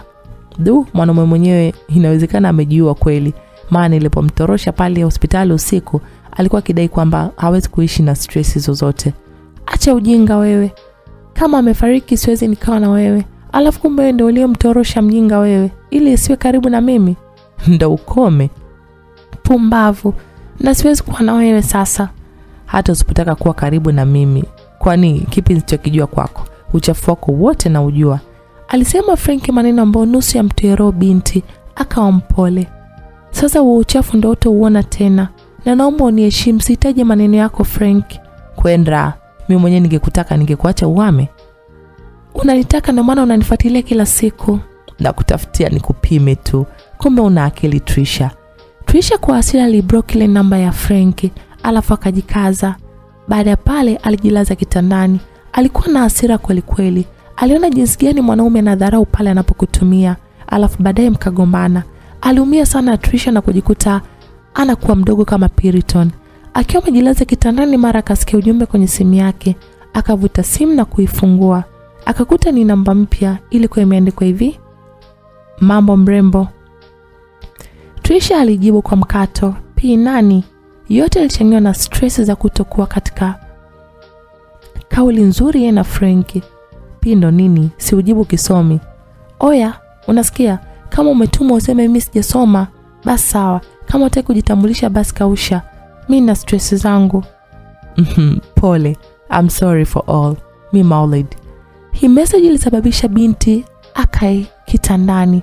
Alikaa bila kutarajia, akamuuliza Maulid, ndiyo nimekukumbuka leo, nimeona nikutafute bana. Binti alijikuta amerudi kwenye mudi ghafla, akajaribu kuipigia ile namba. Mara ya kwanza namba haikupokelewa. Trisha alishtuka na kuhisi labda ni Frank anamjaribu kwa kutumia namba nyingine. Alimtumia ujumbe, mbona upokee simu? Kwanza we sio Maulid ngoja na kupigia spiri kidogo ilisema meseji hiyo ya pili Binti alisonya akijua kabisa sio maulidi alikuwa anamtafuta wala kujibu ile message. Aliingia kwenye mtandao wa TikTok akawa anaangalia video tu ili aburudike kidogo. Ilikuwa kama masiara, lakini baada ya dakika kumi yule mtu alimpigia. Trisha alipokea. helo helo mambo? Ilitoka sauti upande wa pili, kweli ilikuwa ni ya Maulid. Ilifanya moyo wa binti udunde kwa kasi ya ajabu. Poa. Uko wapi? Nimekumisi sana.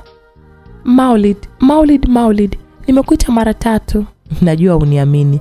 Siamini kivipi? Mi kwanza umeniuza, umenikera, sikutamani hata unitafute. Alisema binti akijifanya eti alikuwa atamani jamaa amtafute, wakati aliangaika muda mrefu sana kujaribu kumpata. Samani, najua labda ni Kabla hajamaliza sentensi, simu ilikatika, na kilichofanya kukatika ni salio liliisha kwenye simu ya Maulid. Trisha na hasira zote alipanda hewani. Mbona umekata simu? Dakika zimeisha. Ehe, kwani ulitoroka? Unajua mimi watu wanasema ndo nimekutorosha. Unajua nimeteseka kiasi gani kuhangaika kutafuta ulipo. Unajua nimefikiria mambo mangapi mpaka nikahisi wewe umekufa. Kweli Maulid, mimi ndio kunifanyia nikosi amani? Mimi ndio kunitesa kila wakati? Aliongea binti kwa hasira huku akiwa analia. Nisamee Trisha, labda nimekuwa tatizo kwenye maisha yako, lakini kiukweli ninakushukuru sana kwa mambo ambayo umekuwa ukinifanyia. Leo nimekuwa mzima wa afya, napambana natafuta riziki. Nimekumbuka sana. Please nisamee. Ulijua hali nilokuwa nayo pale hospitalini. Sikuwa na chaguo zaidi tu ya kukimbilia huku. Da.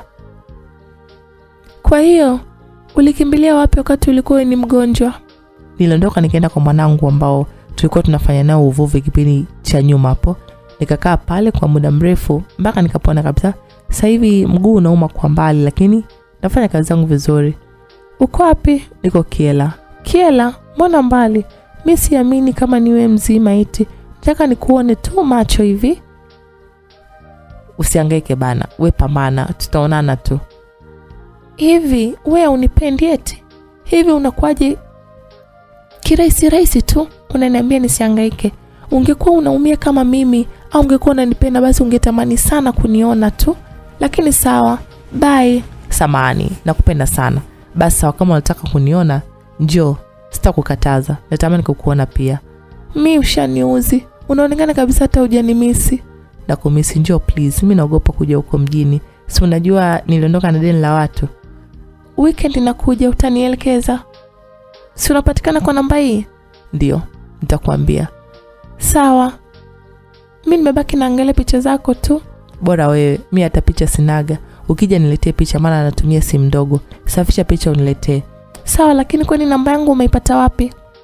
Siku ile uliponipigia kwenye uh, simu ya ule nesi pale hospitali, ukamwambia anipe simu, ndo niliandika kwenye karatasi yangu. Mm-hmm, we mtondo. Hapana, ni kwa sababu wewe ni mwanamke wa kipekee kwenye maisha yangu. Sawa bana, asante. Ilikuwa ni safari ya matumaini. Hatimaye mawasiliano yalirudi kati ya wawili waliokuwa wakipendana sana. Trisha alipanga safari yake vizuri tu. Ilifika siku ya Jumamosi, aliamua kujiandaa vizuri. Alibeba zawadi kadhaa, akapanda gari pale Nane Nane na kuingia Kela kwa ajili ya kwenda kumtafuta Maulid. Ilikuwa ni safari ndefu, lakini ilikuwa ni safari yenye matumaini kidogo kwenye maisha yake. Aliamini akisha hakikisha kama Maulid yupo hai na ni lazima atakuwa naye, basi na angeridhika pia, kwani hata hivyo anajisikia vizuri kama Maulid yuko sawa. Alimpenda kweli. Safari iligota kila giza lilikuwa linaingia ingia. Binti alichoka kinyang'anyanga, baridi ni kali maeneo yale. Eh, mbona mbali hivi? Ni mbali sana, lakini karibu. Nimechoka, nilijua nitakuja na kurudi. Pole, utaondoka kesho. Nitalala wapi? Napolala tutalala wote au vipi? Trisha alimtazama Maulid alafu akacheka. Alionekana ile sentensi ya kulala wote ili mfurahisha kidogo, maana ni muda ulikuwa amemisi Makovu yalikuwa yameshapungua. Mm, makovu yamepungua usoni, lakini kila siku mwili wako una dhoofu. Kwa nini lakini Maulid? Eh? Yaani maumivu makali ya maisha, ila nitarudi kwenye mstari soon. Unafanya kazi ya uvuvi? Ndiyo. Unapata hela kweli? Ndiyo, najikimu, alisema Maulidi, alafu akamvuta kwa nguvu binti na kumkumbatia. Trisha alimdandia na kujikuta wote wanahema kwa nguvu. Hamna kitu kitamu kama hicho, maana kila mmoja alimmisi mwenzake. twende tukale. alisema Maulid na kumwachia mtoto wa kike. Walienda mpaka kwenye mgawa mmoja wakaagiza wali samaki, alafu wakala na kuondoka. Walienda mpaka geto. Lilikuwa sio geto la Maulid, alikuwa akiishi na wenzake, lakini kwa siku ile walijua shemeji anakuja. Waliondoka na kwenda kulala sehemu nyingine mpaka atakapoondoka. Siku ile Maulid alilala na binti usiku kucha, walipiana kile kitu kiitwacho mi sitaki kutaja siri za watu, mi najua tu unajua ni kitu gani. Asubuhi ilipofika, binti alimwambia unajua sina kinga. Kwa upo kwenye siku za hatari. Ndiyo, ila mm, nitatumia dawa. Ah, basi sawa.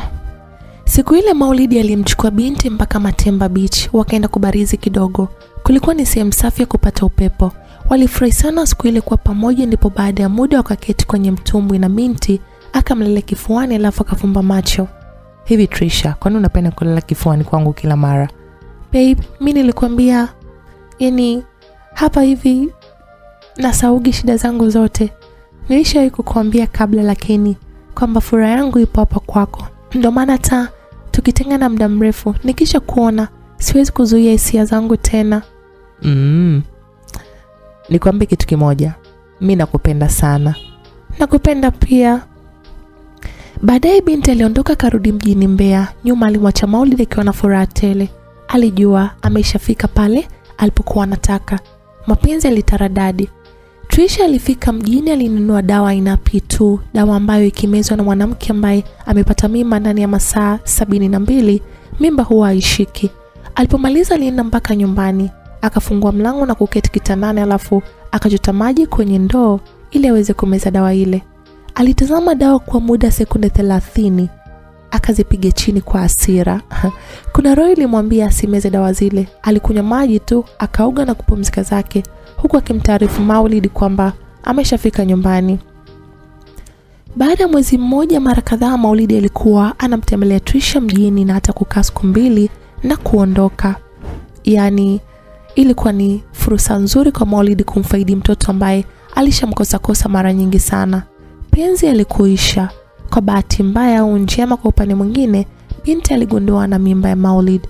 Japo alishtuka kidogo, lakini alijua kabisa kwamba anatakiwa kumzalia, maana ni mwanaume ambaye amempenda kwa muda mrefu, na hata walipotezana na wakija kukutana, anaamini wakipotezana tena hata atakuwa amemwachia alama nzuri kwenye maisha yake.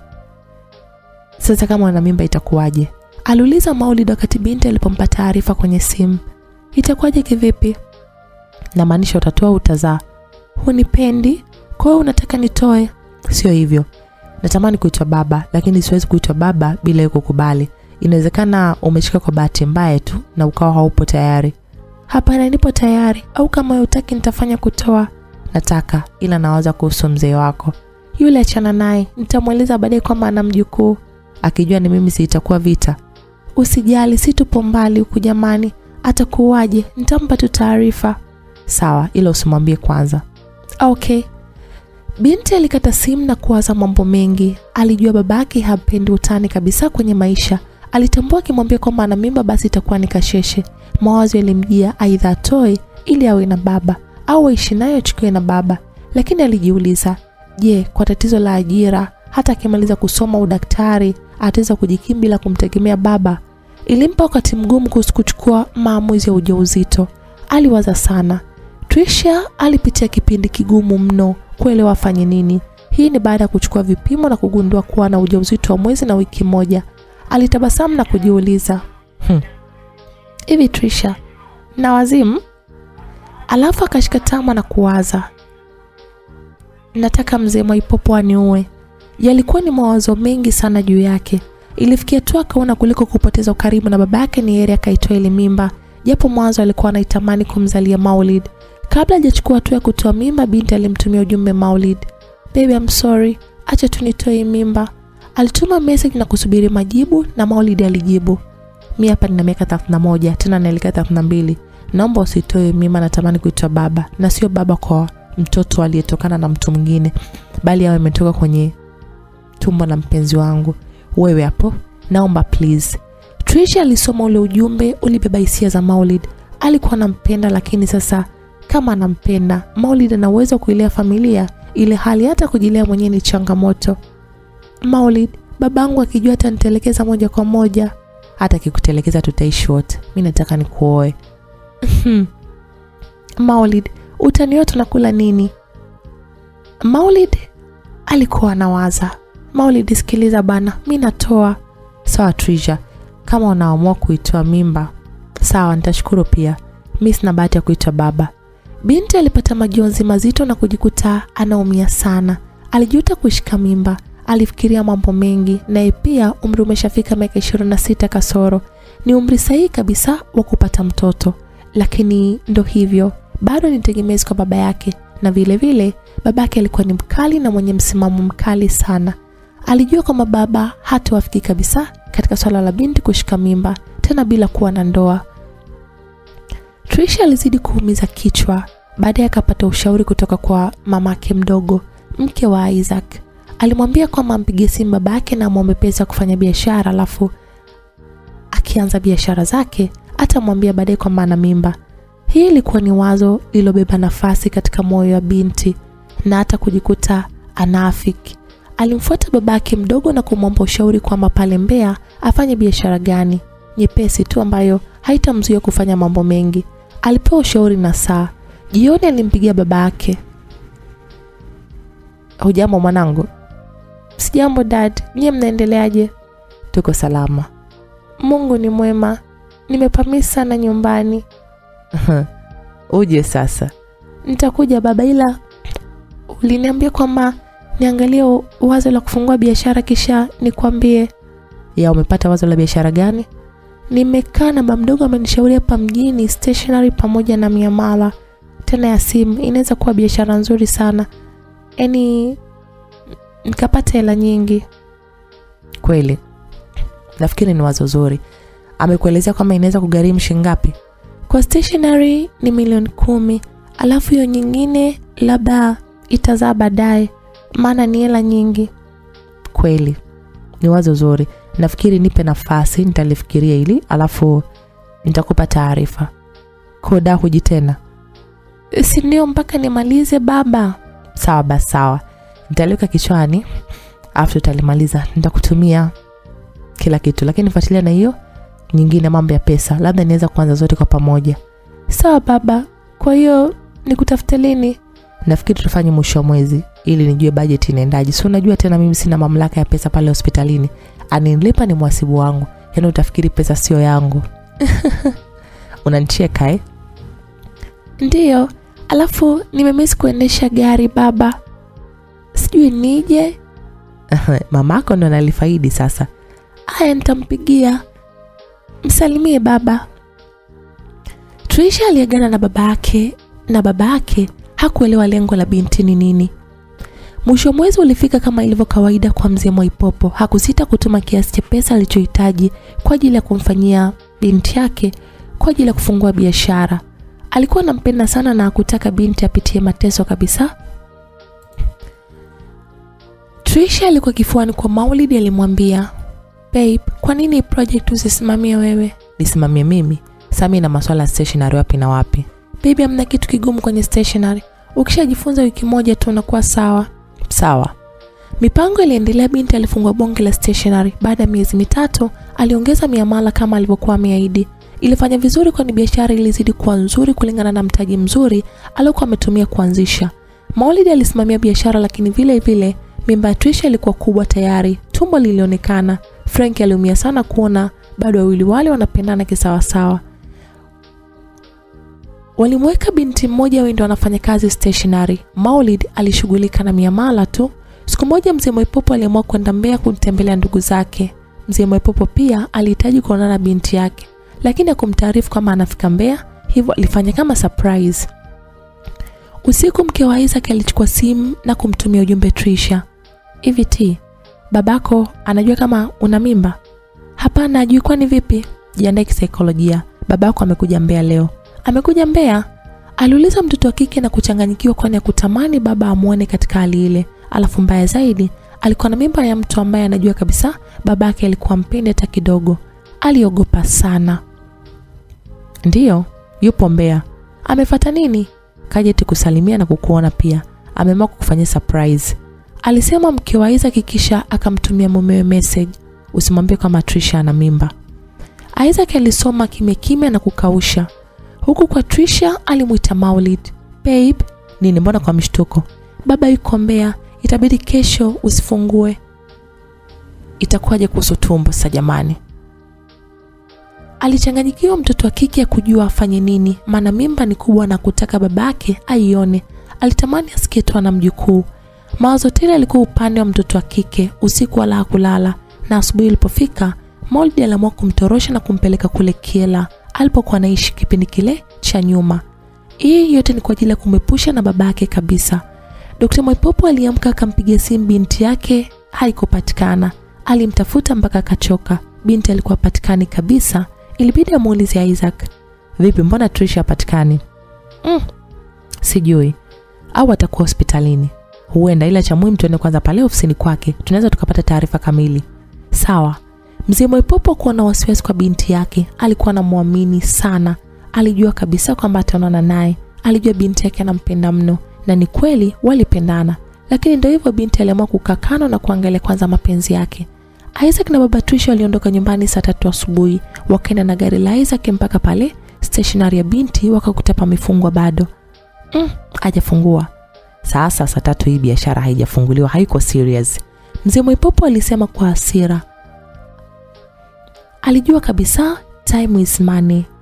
Hakupenda muda upotezwe kabisa. Alitazama bango na kutazama stationery imeandikwa Trisha Stationery. Alitabasamu kidogo na kusema, watoto wa kike wana mbwembwe.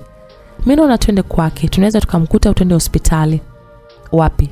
Hajapanga mbali, twende napajua, maana mimi ndiye ambaye nilimpelekea vitu. Sawa.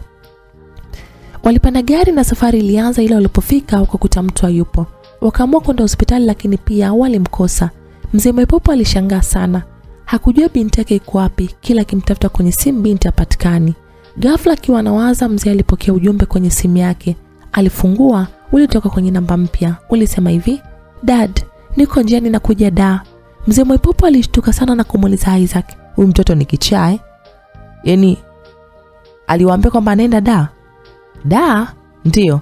Hapana, hebu soma hii meseji yake. Alisema mzee huyu akimpa Isaac simu.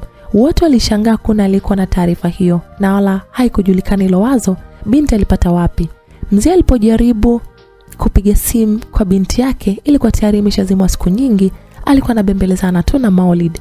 Mzee Mwaipopo alipata wakati mgumu, lakini alishukuru kuona binti yake amejiongeza na kufungua biashara. Usiku mzee alimpigia mke wake simu akamuuliza kuhusu binti kufika nyumbani. Cha kushangaza, mama alimjibu ameshafika na kulala, amechoka na simu amepoteza. Mzee Mwaipopo akujali, aliamini ni kweli binti yake alikuwa ameenda nyumbani, ameenda kuwasalimia, lakini hii ilikuwa sio kweli. Ni kwamba Trisha alipoa na maji amefika shingoni, aliamua kumtafuta mama yake na kumpanga kwa kutumia simu ya mtu mwingine. Mazungumzo yake Trisha na mama yalikuwa hivi: Mama, mwenzako nina shida na sijui utanisaidiaje. Shida gani tena Trisha? Niahidi kwamba utanisaidia. Kama nina uwezo nitakusaidia. Mama, baba kaja Mbeya, nimemkimbia, sitaki anione. Kwani utakuonana na babako? Mama, mimi nina mimba miezi mitano. Baba ni mkali eti. Trisha, una mimba? Ndiyo mama. Ya nani? Ni ya kijana mmoja tulikutana huku Mbeya tukaingia kwenye mahusiano na ikatokea hilo la kutokea. Trisha, hivi uko serious na maisha? Unashika mimba hata kazi hujapata, hujamaliza hata shule. Unadanganya na hizo laki tano unazolipwa eh? Trisha, umepotea. Umepotea mwanangu. Mama, naomba nisaidie. Sina cha kukusaidia. Tena ninamwambia sasa hivi mpumbavu wako huo. Mama alisema kwa hasira kisha kakata simu. Trisha alimtumia ujumbe wa haraka. Nimemwambia baba niko da. Naomba akikuuliza mwambie niko da. Utakuwa umenisaidia. Mimi nitamwambia siku nyingine ila sio ana kwa ana mama. Atanichukia sana. Mama Trisha baada ya kuona ule ujumbe alijikuta moyo umelainika. Licha ya kwamba aliumia kwa kitendo ambacho alikifanya binti yake, lakini hakuwa na namna. Ilibidi amsaidie ili asichukiwe na baba yake. Mzee Mwipopo kesho yake ilipanda ndege na kurejea Dar es Salaam. Alijua atamkuta binti yake, lakini wapi. Trisha naye alipopewa taarifa na mamake mdogo kwamba baba ameondoka, aliamua kurejea jijini Mbeya na kuendelea na kazi zake za kila siku. Alimtumia ujumbe baba yake, Dad, I'm sorry. Sorry for what? I'm pregnant. Pregnant? pregnant for who nisamee baba nibeba mimba ya maulid. Maulid gani? Yule kijana wa kipindi kile. Mzee mwaipopo alipatwa na hasira za kufa mtu. Akachukua simu na kumpigia binti akamkatia. Hataki kuongea naye ana kwa ana. Mzee atamletea noma sana. Akahamisha hasira zake kwa mkewe kwa kujua ndiye anacheza triki za kipumbavu na mtoto wake. Alituma ujumbe wa mwisho. Nikwambie kitu kama umebeba mimba bila kuingia kwenye ndoa tena mimba ya huyo mpumbavu naomba tusijuane mimi na wewe nimekusomesha kwa gharama nimekupa pesa za biashara kumbe ndo ushenzi unaofanya mjinga wewe. Kuanzia leo mimi sikutambui kama mwanangu. Endelea na maisha yako na huyo mpumbavu mwenzako. Mzee alikuwa na hasira kweli kweli. Hakujua afanye nini. Aliona binti hana akili hata kidogo. Alikasirika sana. Trisha alituma ujumbe. Ndio maana nimekuomba samani. Kama utanisamee sawa kama utanisamee basi hamna tatizo. Labda tutaonana tena baba. Thank you for everything. I love you huu ujumbe binti aliandika akiwa anatoka na machozi. Maana alishapitia mambo mengi na yeye na baba yake. Alimpenda sana baba yake. Hakutarajia kama ipo siku atatenganishwa na kosa kama hilo. Alijitia moyo huenda akishazaa mtoto basi baba atampenda tena kama alivyokuwa mwanzo. Kikubwa ni kwamba baba alikuwa ameshampatia pesa za mtaji na elimu. Vyote hivi binti alipaswa kuvitumia kwa ajili ya maendeleo yake binafsi bila kumtegemea mtu. Ukaribu wake uligeukia kwa maulid. Maulid alikuwa sio mwanaume mkorofi waliishi pamoja licha ya kutokuwa na ndoa walifanya kazi kwa pamoja ukaribu uliamia pia kwa babake mdogo mara nyingi akiwa na tatizo alikuwa anamfuata babake mdogo Isaac na kupata msaada. Hivi ndivyo binti aliaga maisha kuishi na baba, akaamua kufuata penzi la mwanaume wa ndoto zake kuliko wazazi wake wenye pesa nyingi. Baada ya miezi minne, binti alijifungua mtoto wa kiume na kuanza kuitwa mama hata leo, lakini ana ndoto kwamba ipo siku mapenzi ya baba yake yatarudi tena, kwa maana maumivu huwa yana muda tu, kuna wakati yanapita na kusaulika kabisa.